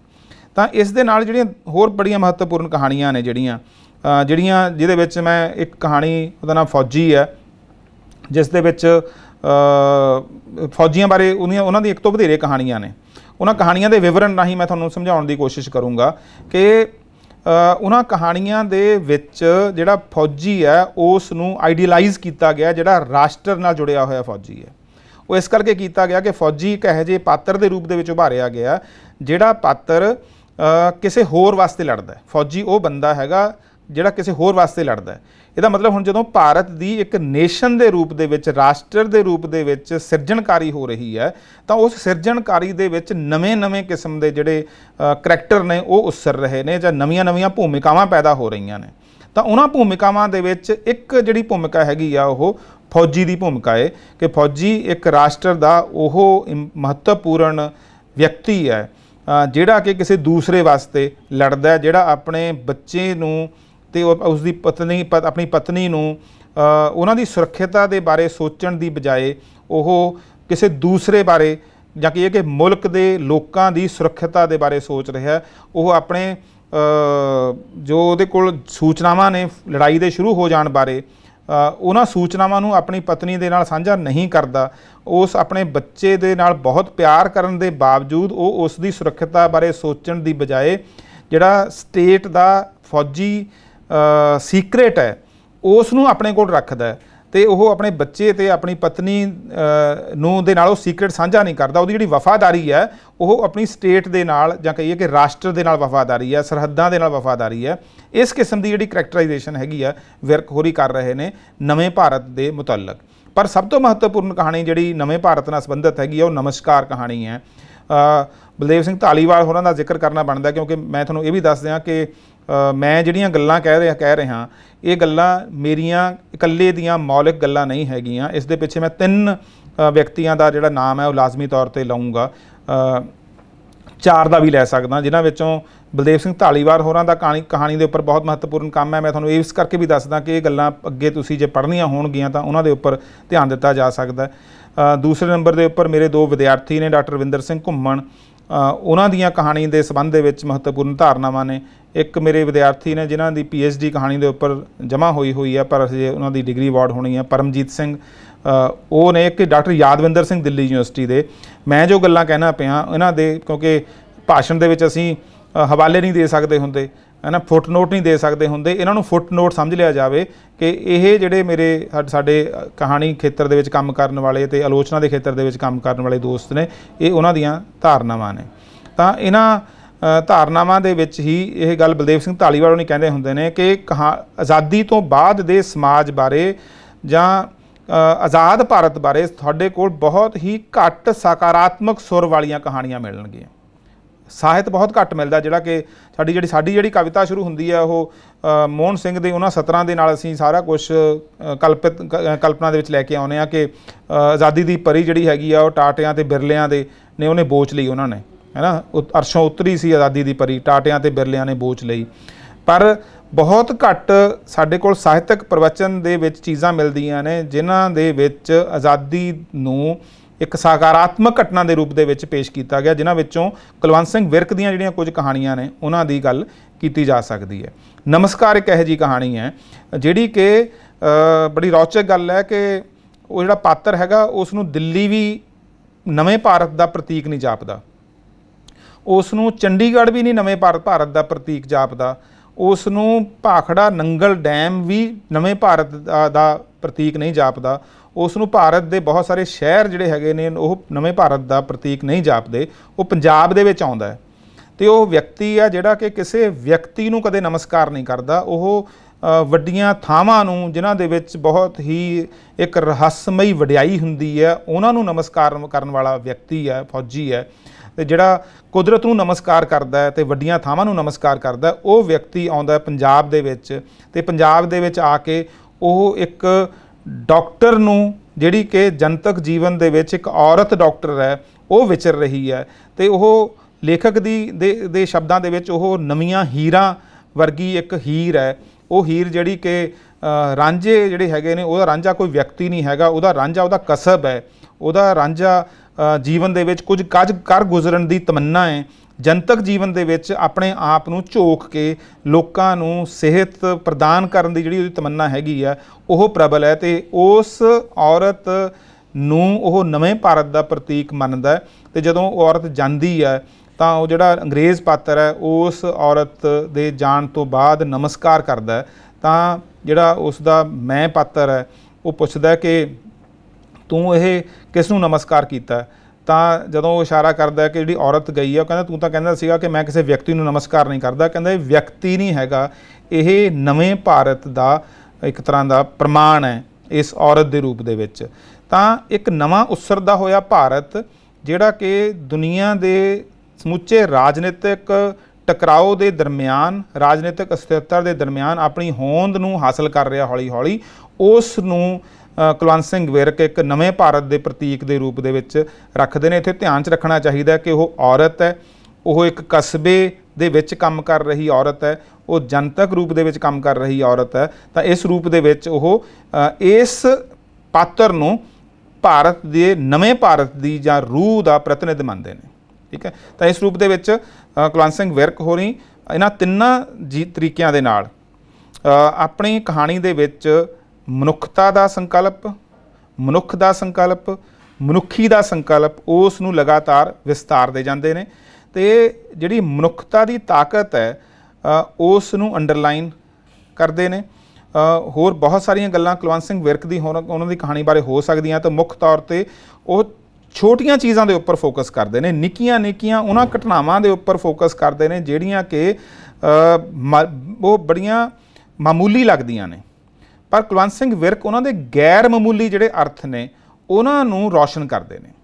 ਮਾਮੂਲੀ ਦੇ ਵਿੱਚ ਗੈਰ ਮਾਮੂਲੀ ਦਾ ਹੋਣਾ, ਮਾਮੂਲੀ ਦੇ ਵਿੱਚ ਇਸ ਤਰ੍ਹਾਂ ਦੇ ਮਹੱਤਵਸ਼ਾਲੀ ਨਿੱਕੇ ਨਿੱਕੇ ਵਰਤਾਰਿਆਂ ਦੇ ਰਾਹੀਂ ਜ਼ਿੰਦਗੀ ਦਾ ਅੱਗੇ ਤੁਰਦੇ ਹੋਣਾ, ਇਸ ਤਰ੍ਹਾਂ ਨਾਲ ਉਹ ਤਸੱਵਰ ਕਰ ਰਹੇ ਨੇ।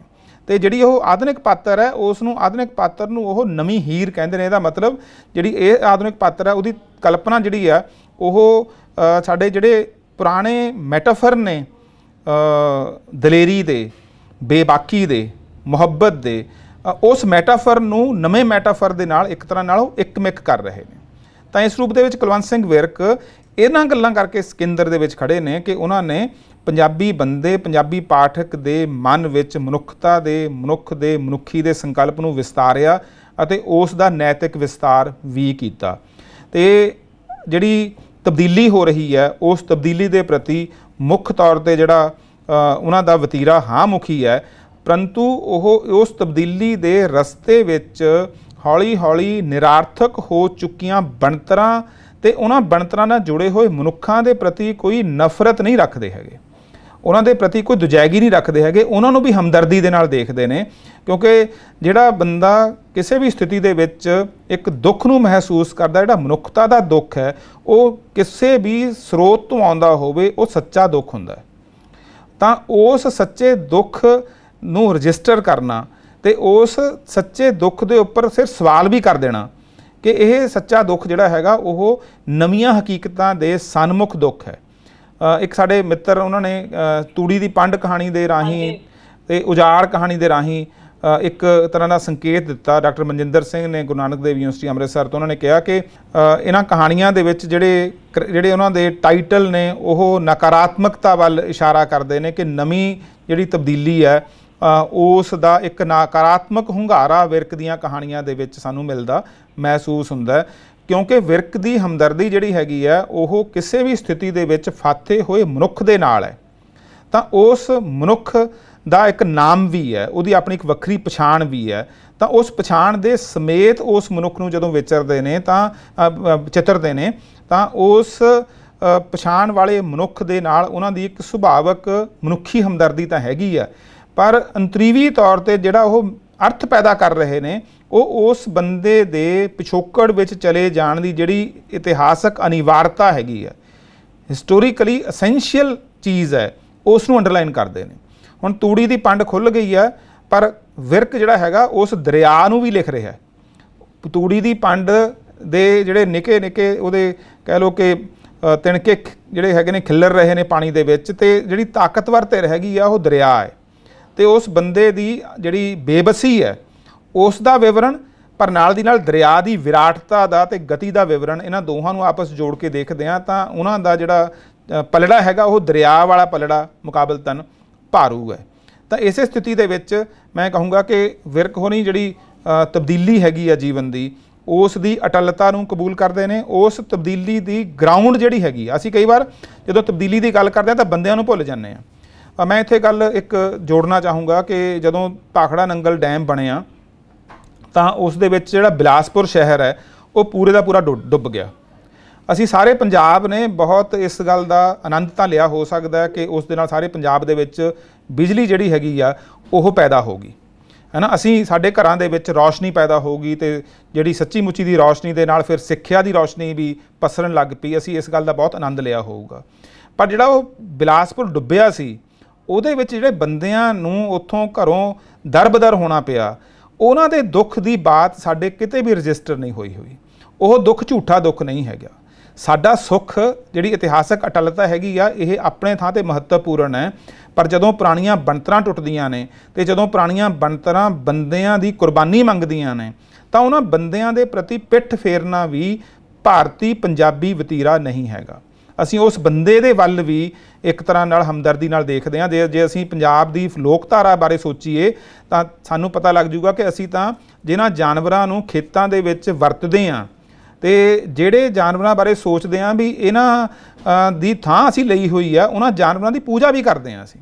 ਗੁੱਗੇ ਗੁੱਗੇ ਦੀ ਪੂਜਾ ਤਾਂ ਹੀ ਕਰਦੇ ਆਂ ਕਿਉਂਕਿ ਜਿਹੜਾ ਖੇਤੀ ਸਮਾਜ ਹੈ, ਉਹਦੇ ਮਨ ਦੇ ਵਿੱਚ ਇੱਕ ਗੰਢ ਹੈ, ਇੱਕ ਗੁੰਝਲ ਹੈ ਕਿ ਅਸੀਂ ਨਾ ਇਹ ਥਾਂ ਜਿਹੜੀ ਹੈਗੀ ਆ ਇਹ ਸੱਪਾਂ ਤੋਂ ਇੱਕ ਤਰ੍ਹਾਂ ਨਾਲ ਖੋਹੀ ਹੋਈ ਹੈ। ਇਸ ਕਰਕੇ ਉਹਦੇ ਪ੍ਰਤੀ ਜਿਹੜੀ ਗਿਲਟ ਹੈਗੀ ਹੈ, ਜਿਹੜਾ ਦੋਸ਼ ਭਾਵ ਹੈ, ਉਸ ਦੋਸ਼ ਭਾਵ ਤੋਂ ਨਿਕਲਣ ਵਾਸਤੇ ਅਸੀਂ ਉਸ ਦੀ ਪੂਜਾ ਕਰਦੇ ਹਾਂ। ਅਸੀਂ ਗਧੇ ਦੀ ਪੂਜਾ ਵੀ ਕਰਦੇ ਹਾਂ। ਗਧੇ ਨੂੰ ਇੱਕ ਦਿਨ ਵਿਸ਼ੇਸ਼ ਤੌਰ ਤੇ ਉਸ ਨੂੰ ਭੋਗ ਲਵਾਉਨੇ ਆ ਕਿਸੇ ਵੀ ਹੋਰ ਨੂੰ ਭੋਜਨ ਦੇਣ ਤੋਂ ਪਹਿਲਾਂ ਜਦੋਂ ਜਰਗ ਦੇ ਵਿੱਚ ਬਾਸੜੀਆਂ ਦਾ ਮੇਲਾ ਲੱਗਦਾ, ਉੱਥੇ ਸਾਡੇ ਵਾਸਤੇ ਉਸ ਦਿਨ ਗਧਾ ਵੀ ਪੂਜਣਯੋਗ ਹੁੰਦਾ। ਇਹਦਾ ਮਤਲਬ ਜਿਸ ਨੂੰ ਅਸੀਂ ਵਰਤ ਰਹੇ ਹਾਂ ਜਿਸ ਨੂੰ ਅਸੀਂ ਮਨੁੱਖੀ ਪ੍ਰਗਤੀ ਵਾਸਤੇ ਵਰਤ ਰਹੇ ਹਾਂ, ਮਨੁੱਖੀ ਉਤਪਾਦਨ ਵਾਸਤੇ ਵਰਤ ਰਹੇ ਹਾਂ, ਉਸ ਬੰਦੇ ਦੇ ਪ੍ਰਤੀ ਇੱਕ ਸੁਭਾਵਕ ਹਮਦਰਦੀ ਦਾ ਭਾਵ ਪੰਜਾਬੀ ਬੰਦੇ ਦੇ ਮਨ ਦੇ ਵਿੱਚ ਸਮਾਇਆ ਹੋਇਆ ਹੁੰਦਾ ਇਸ ਕਰਕੇ ਜਦੋਂ ਤਬਦੀਲੀ ਹੋ ਰਹੀ ਹੁੰਦੀ ਹੈ, ਤਾਂ ਉਸ ਤਬਦੀਲੀ ਦੇ ਨਾਲ ਜਿਹੜੇ ਮਨੁੱਖ ਨੇ, ਉਹਨਾਂ ਦੀ ਕੁਰਬਾਨੀ ਵੀ ਦਿੱਤੀ ਜਾ ਰਹੀ ਹੁੰਦੀ ਹੈ।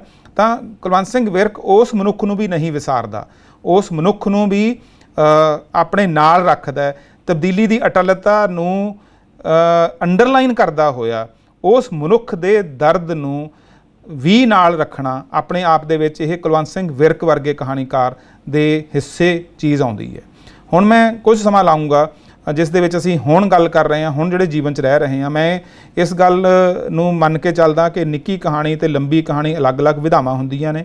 ਕੁਝ ਦੋਸਤ ਇਹਦੇ ਨਾਲ ਅਸਹਿਮਤ ਹੋ ਸਕਦੇ ਨੇ। ਡਾਕਟਰ ਜੋਗਿੰਦਰ ਸਿੰਘ ਰਾਹੀ ਹੋਰੀ ਇਸ ਗੱਲ ਦੇ ਨਾਲ ਸਹਿਮਤ ਨਹੀਂ ਸੀ। ਮੇਰੇ ਆਪਣੇ ਮਿੱਤਰ ਡਾਕਟਰ ਬਲਦੇਵ ਸਿੰਘ ਢਾਲੀਵਾਲ ਵੀ ਇਸ ਗੱਲ ਦੇ ਨਾਲ ਸਹਿਮਤ ਨਹੀਂ ਹੈਗੇ। ਮੇਰਾ ਵਿਦਿਆਰਥੀ ਪਰਮਜੀਤ ਸਿੰਘ ਵੀ ਆਪਣੇ ਆਪਣੇ ਥੀਸਿਸ ਦੇ ਵਿੱਚ ਉਸਨੇ ਮੇਰੀ ਇਸ ਧਾਰਨਾ ਨੂੰ ਰੱਦ ਕੀਤਾ ਪਰ ਮੇਰੇ ਕੋਲ ਆਪਣੇ ਤਰਕ ਨੇ ਜਿਨ੍ਹਾਂ ਦੇ ਆਧਾਰ ਦੇ ਉੱਪਰ ਮੈਂ ਇਹਨਾਂ ਦੋਹਾਂ ਕਹਾਣੀਆਂ ਨੂੰ ਨਿਖੇੜ ਕੇ ਚੱਲਦਾ। ਮੇਰੇ ਮੁਤਾਬਕ ਜਿਹੜੀ ਲੰਬੀ ਕਹਾਣੀ ਹੈਗੀ ਆ, ਉਹ ਜੀਵਨ ਦੇ ਵੱਡੇ ਪਸਾਰਾਂ ਦੇ ਨਾਲ ਜੁੜਦੀ ਹੈ ਵੱਡੀਆਂ ਵਿਆਖਿਆਵਾਂ ਦੇ ਨਾਲ ਜੁੜਦੀ ਹੈ ਉਹ ਮਨੁੱਖਤਾ ਦੇ ਵਿੱਚ ਜਿਹੜਾ ਉਹਦਾ ਇਤਿਹਾਸਕ ਪਹਿਲੂ ਹੈਗਾ, ਉਹਦੇ ਨਾਲ ਜੁੜਦੀ ਹੈ ਜੀਵਨ ਦੇ ਦਾਰਸ਼ਨਿਕੀਕਰਨ ਨਾਲ ਜੁੜਦੀ ਹੈ, ਉਸ ਦੀ ਵਿਚਾਰਧਾਰਕ ਵਿਆਖਿਆ ਨਾਲ ਜੁੜਦੀ ਹੈ। ਨਿੱਕੀ ਕਹਾਣੀ ਇਹ ਸਾਰੇ ਕੰਮ ਨਹੀਂ ਕਰਦੀ ਹੈਗੀ। ਨਿੱਕੀ ਕਹਾਣੀ ਦੇ ਵਿੱਚ ਇਹ ਸਾਰਾ ਕੁਝ ਬਹੁਤ ਅੰਤਰਤਹਾਂ ਦੇ ਵਿੱਚ ਤਾਂ ਮੌਜੂਦ ਹੁੰਦਾ ਹੈ। ਇਹ ਨਹੀਂ ਕਿ ਨਿੱਕੀ ਕਹਾਣੀ ਦੀ ਫਿਲਾਸਫੀ ਨਹੀਂ ਹੈ। ਨਿੱਕੀ ਕਹਾਣੀ ਦੀ ਕੋਈ ਵਿਚਾਰਧਾਰਾ ਨਹੀਂ ਹੈ, ਬਿਲਕੁਲ ਗੱਲ ਨਹੀਂ ਹੈਗੀ। ਨਿੱਕੀ ਕਹਾਣੀ ਦੇ ਜਿਹੜੇ ਵਿਚਾਰਧਾਰਕ ਪਸਾਰ ਨੇ, ਉਹ ਬਹੁਤ ਹੀ ਖਾਮੋਸ਼ ਰੂਪ ਦੇ ਵਿੱਚ ਨਿੱਕੀ ਕਹਾਣੀ ਦੀਆਂ ਅੰਤਰਤਹਾਂ ਦੇ ਵਿੱਚ ਪਏ ਹੁੰਦੇ ਨੇ। ਹਰ ਵਿਧਾ ਹੀ ਆਪਣੇ ਆਪ ਦੇ ਵਿੱਚ ਵਿਚਾਰਧਾਰਕ ਅਰਥ ਰੱਖਦੀ ਹੁੰਦੀ ਹੈ। ਇੱਕ ਵਿਚਾਰਧਾਰਕ ਚੇਤਨਾ ਹਰ ਵਿਧਾ ਦੇ ਵਿੱਚ ਹੁੰਦੀ ਹੈ। ਪਰ ਲੰਬੀ ਜਿਹੜੀ ਕਹਾਣੀ ਸਾਡੀ ਅੱਜ ਅੱਜ ਕੱਲ੍ਹ ਲਿਖੀ ਜਾ ਰਹੀ ਹੈ, ਉਹ ਬਹੁਤ ਸੁਚੇਤ ਰੂਪ ਦੇ ਵਿੱਚ ਚੀਜ਼ਾਂ ਨੂੰ, ਵਰਤਾਰਿਆਂ ਨੂੰ, ਪਾਤਰਾਂ ਨੂੰ ਵਿਚਾਰਧਾਰਕ ਅਰਥ ਪ੍ਰਦਾਨ ਕਰਨ ਦੀ ਕੋਸ਼ਿਸ਼ ਕਰਦੀ ਹੈ। ਉਹਨਾਂ ਨੂੰ ਫਿਲਾਸਫਾਈਜ਼ ਕਰਨ ਦੀ ਕੋਸ਼ਿਸ਼ ਕਰਦੀ ਹੈ। ਉਹਨਾਂ ਨੂੰ ਪੋਲਿਟਿਸਾਈਜ਼ ਕਰਨ ਦੀ ਕੋਸ਼ਿਸ਼ ਕਰਦੀ ਹੈ। ਉਹਨਾਂ ਦਾ, ਉਹਨਾਂ ਚੀਜ਼ਾਂ ਦਾ ਰਾਜਨੀਤੀਕਰਨ ਵੀ ਕਰਦੀ ਹੈ। ਨਿੱਕੀ ਕਹਾਣੀ ਇਹ ਕੰਮ ਨਹੀਂ ਕਰਦੀ।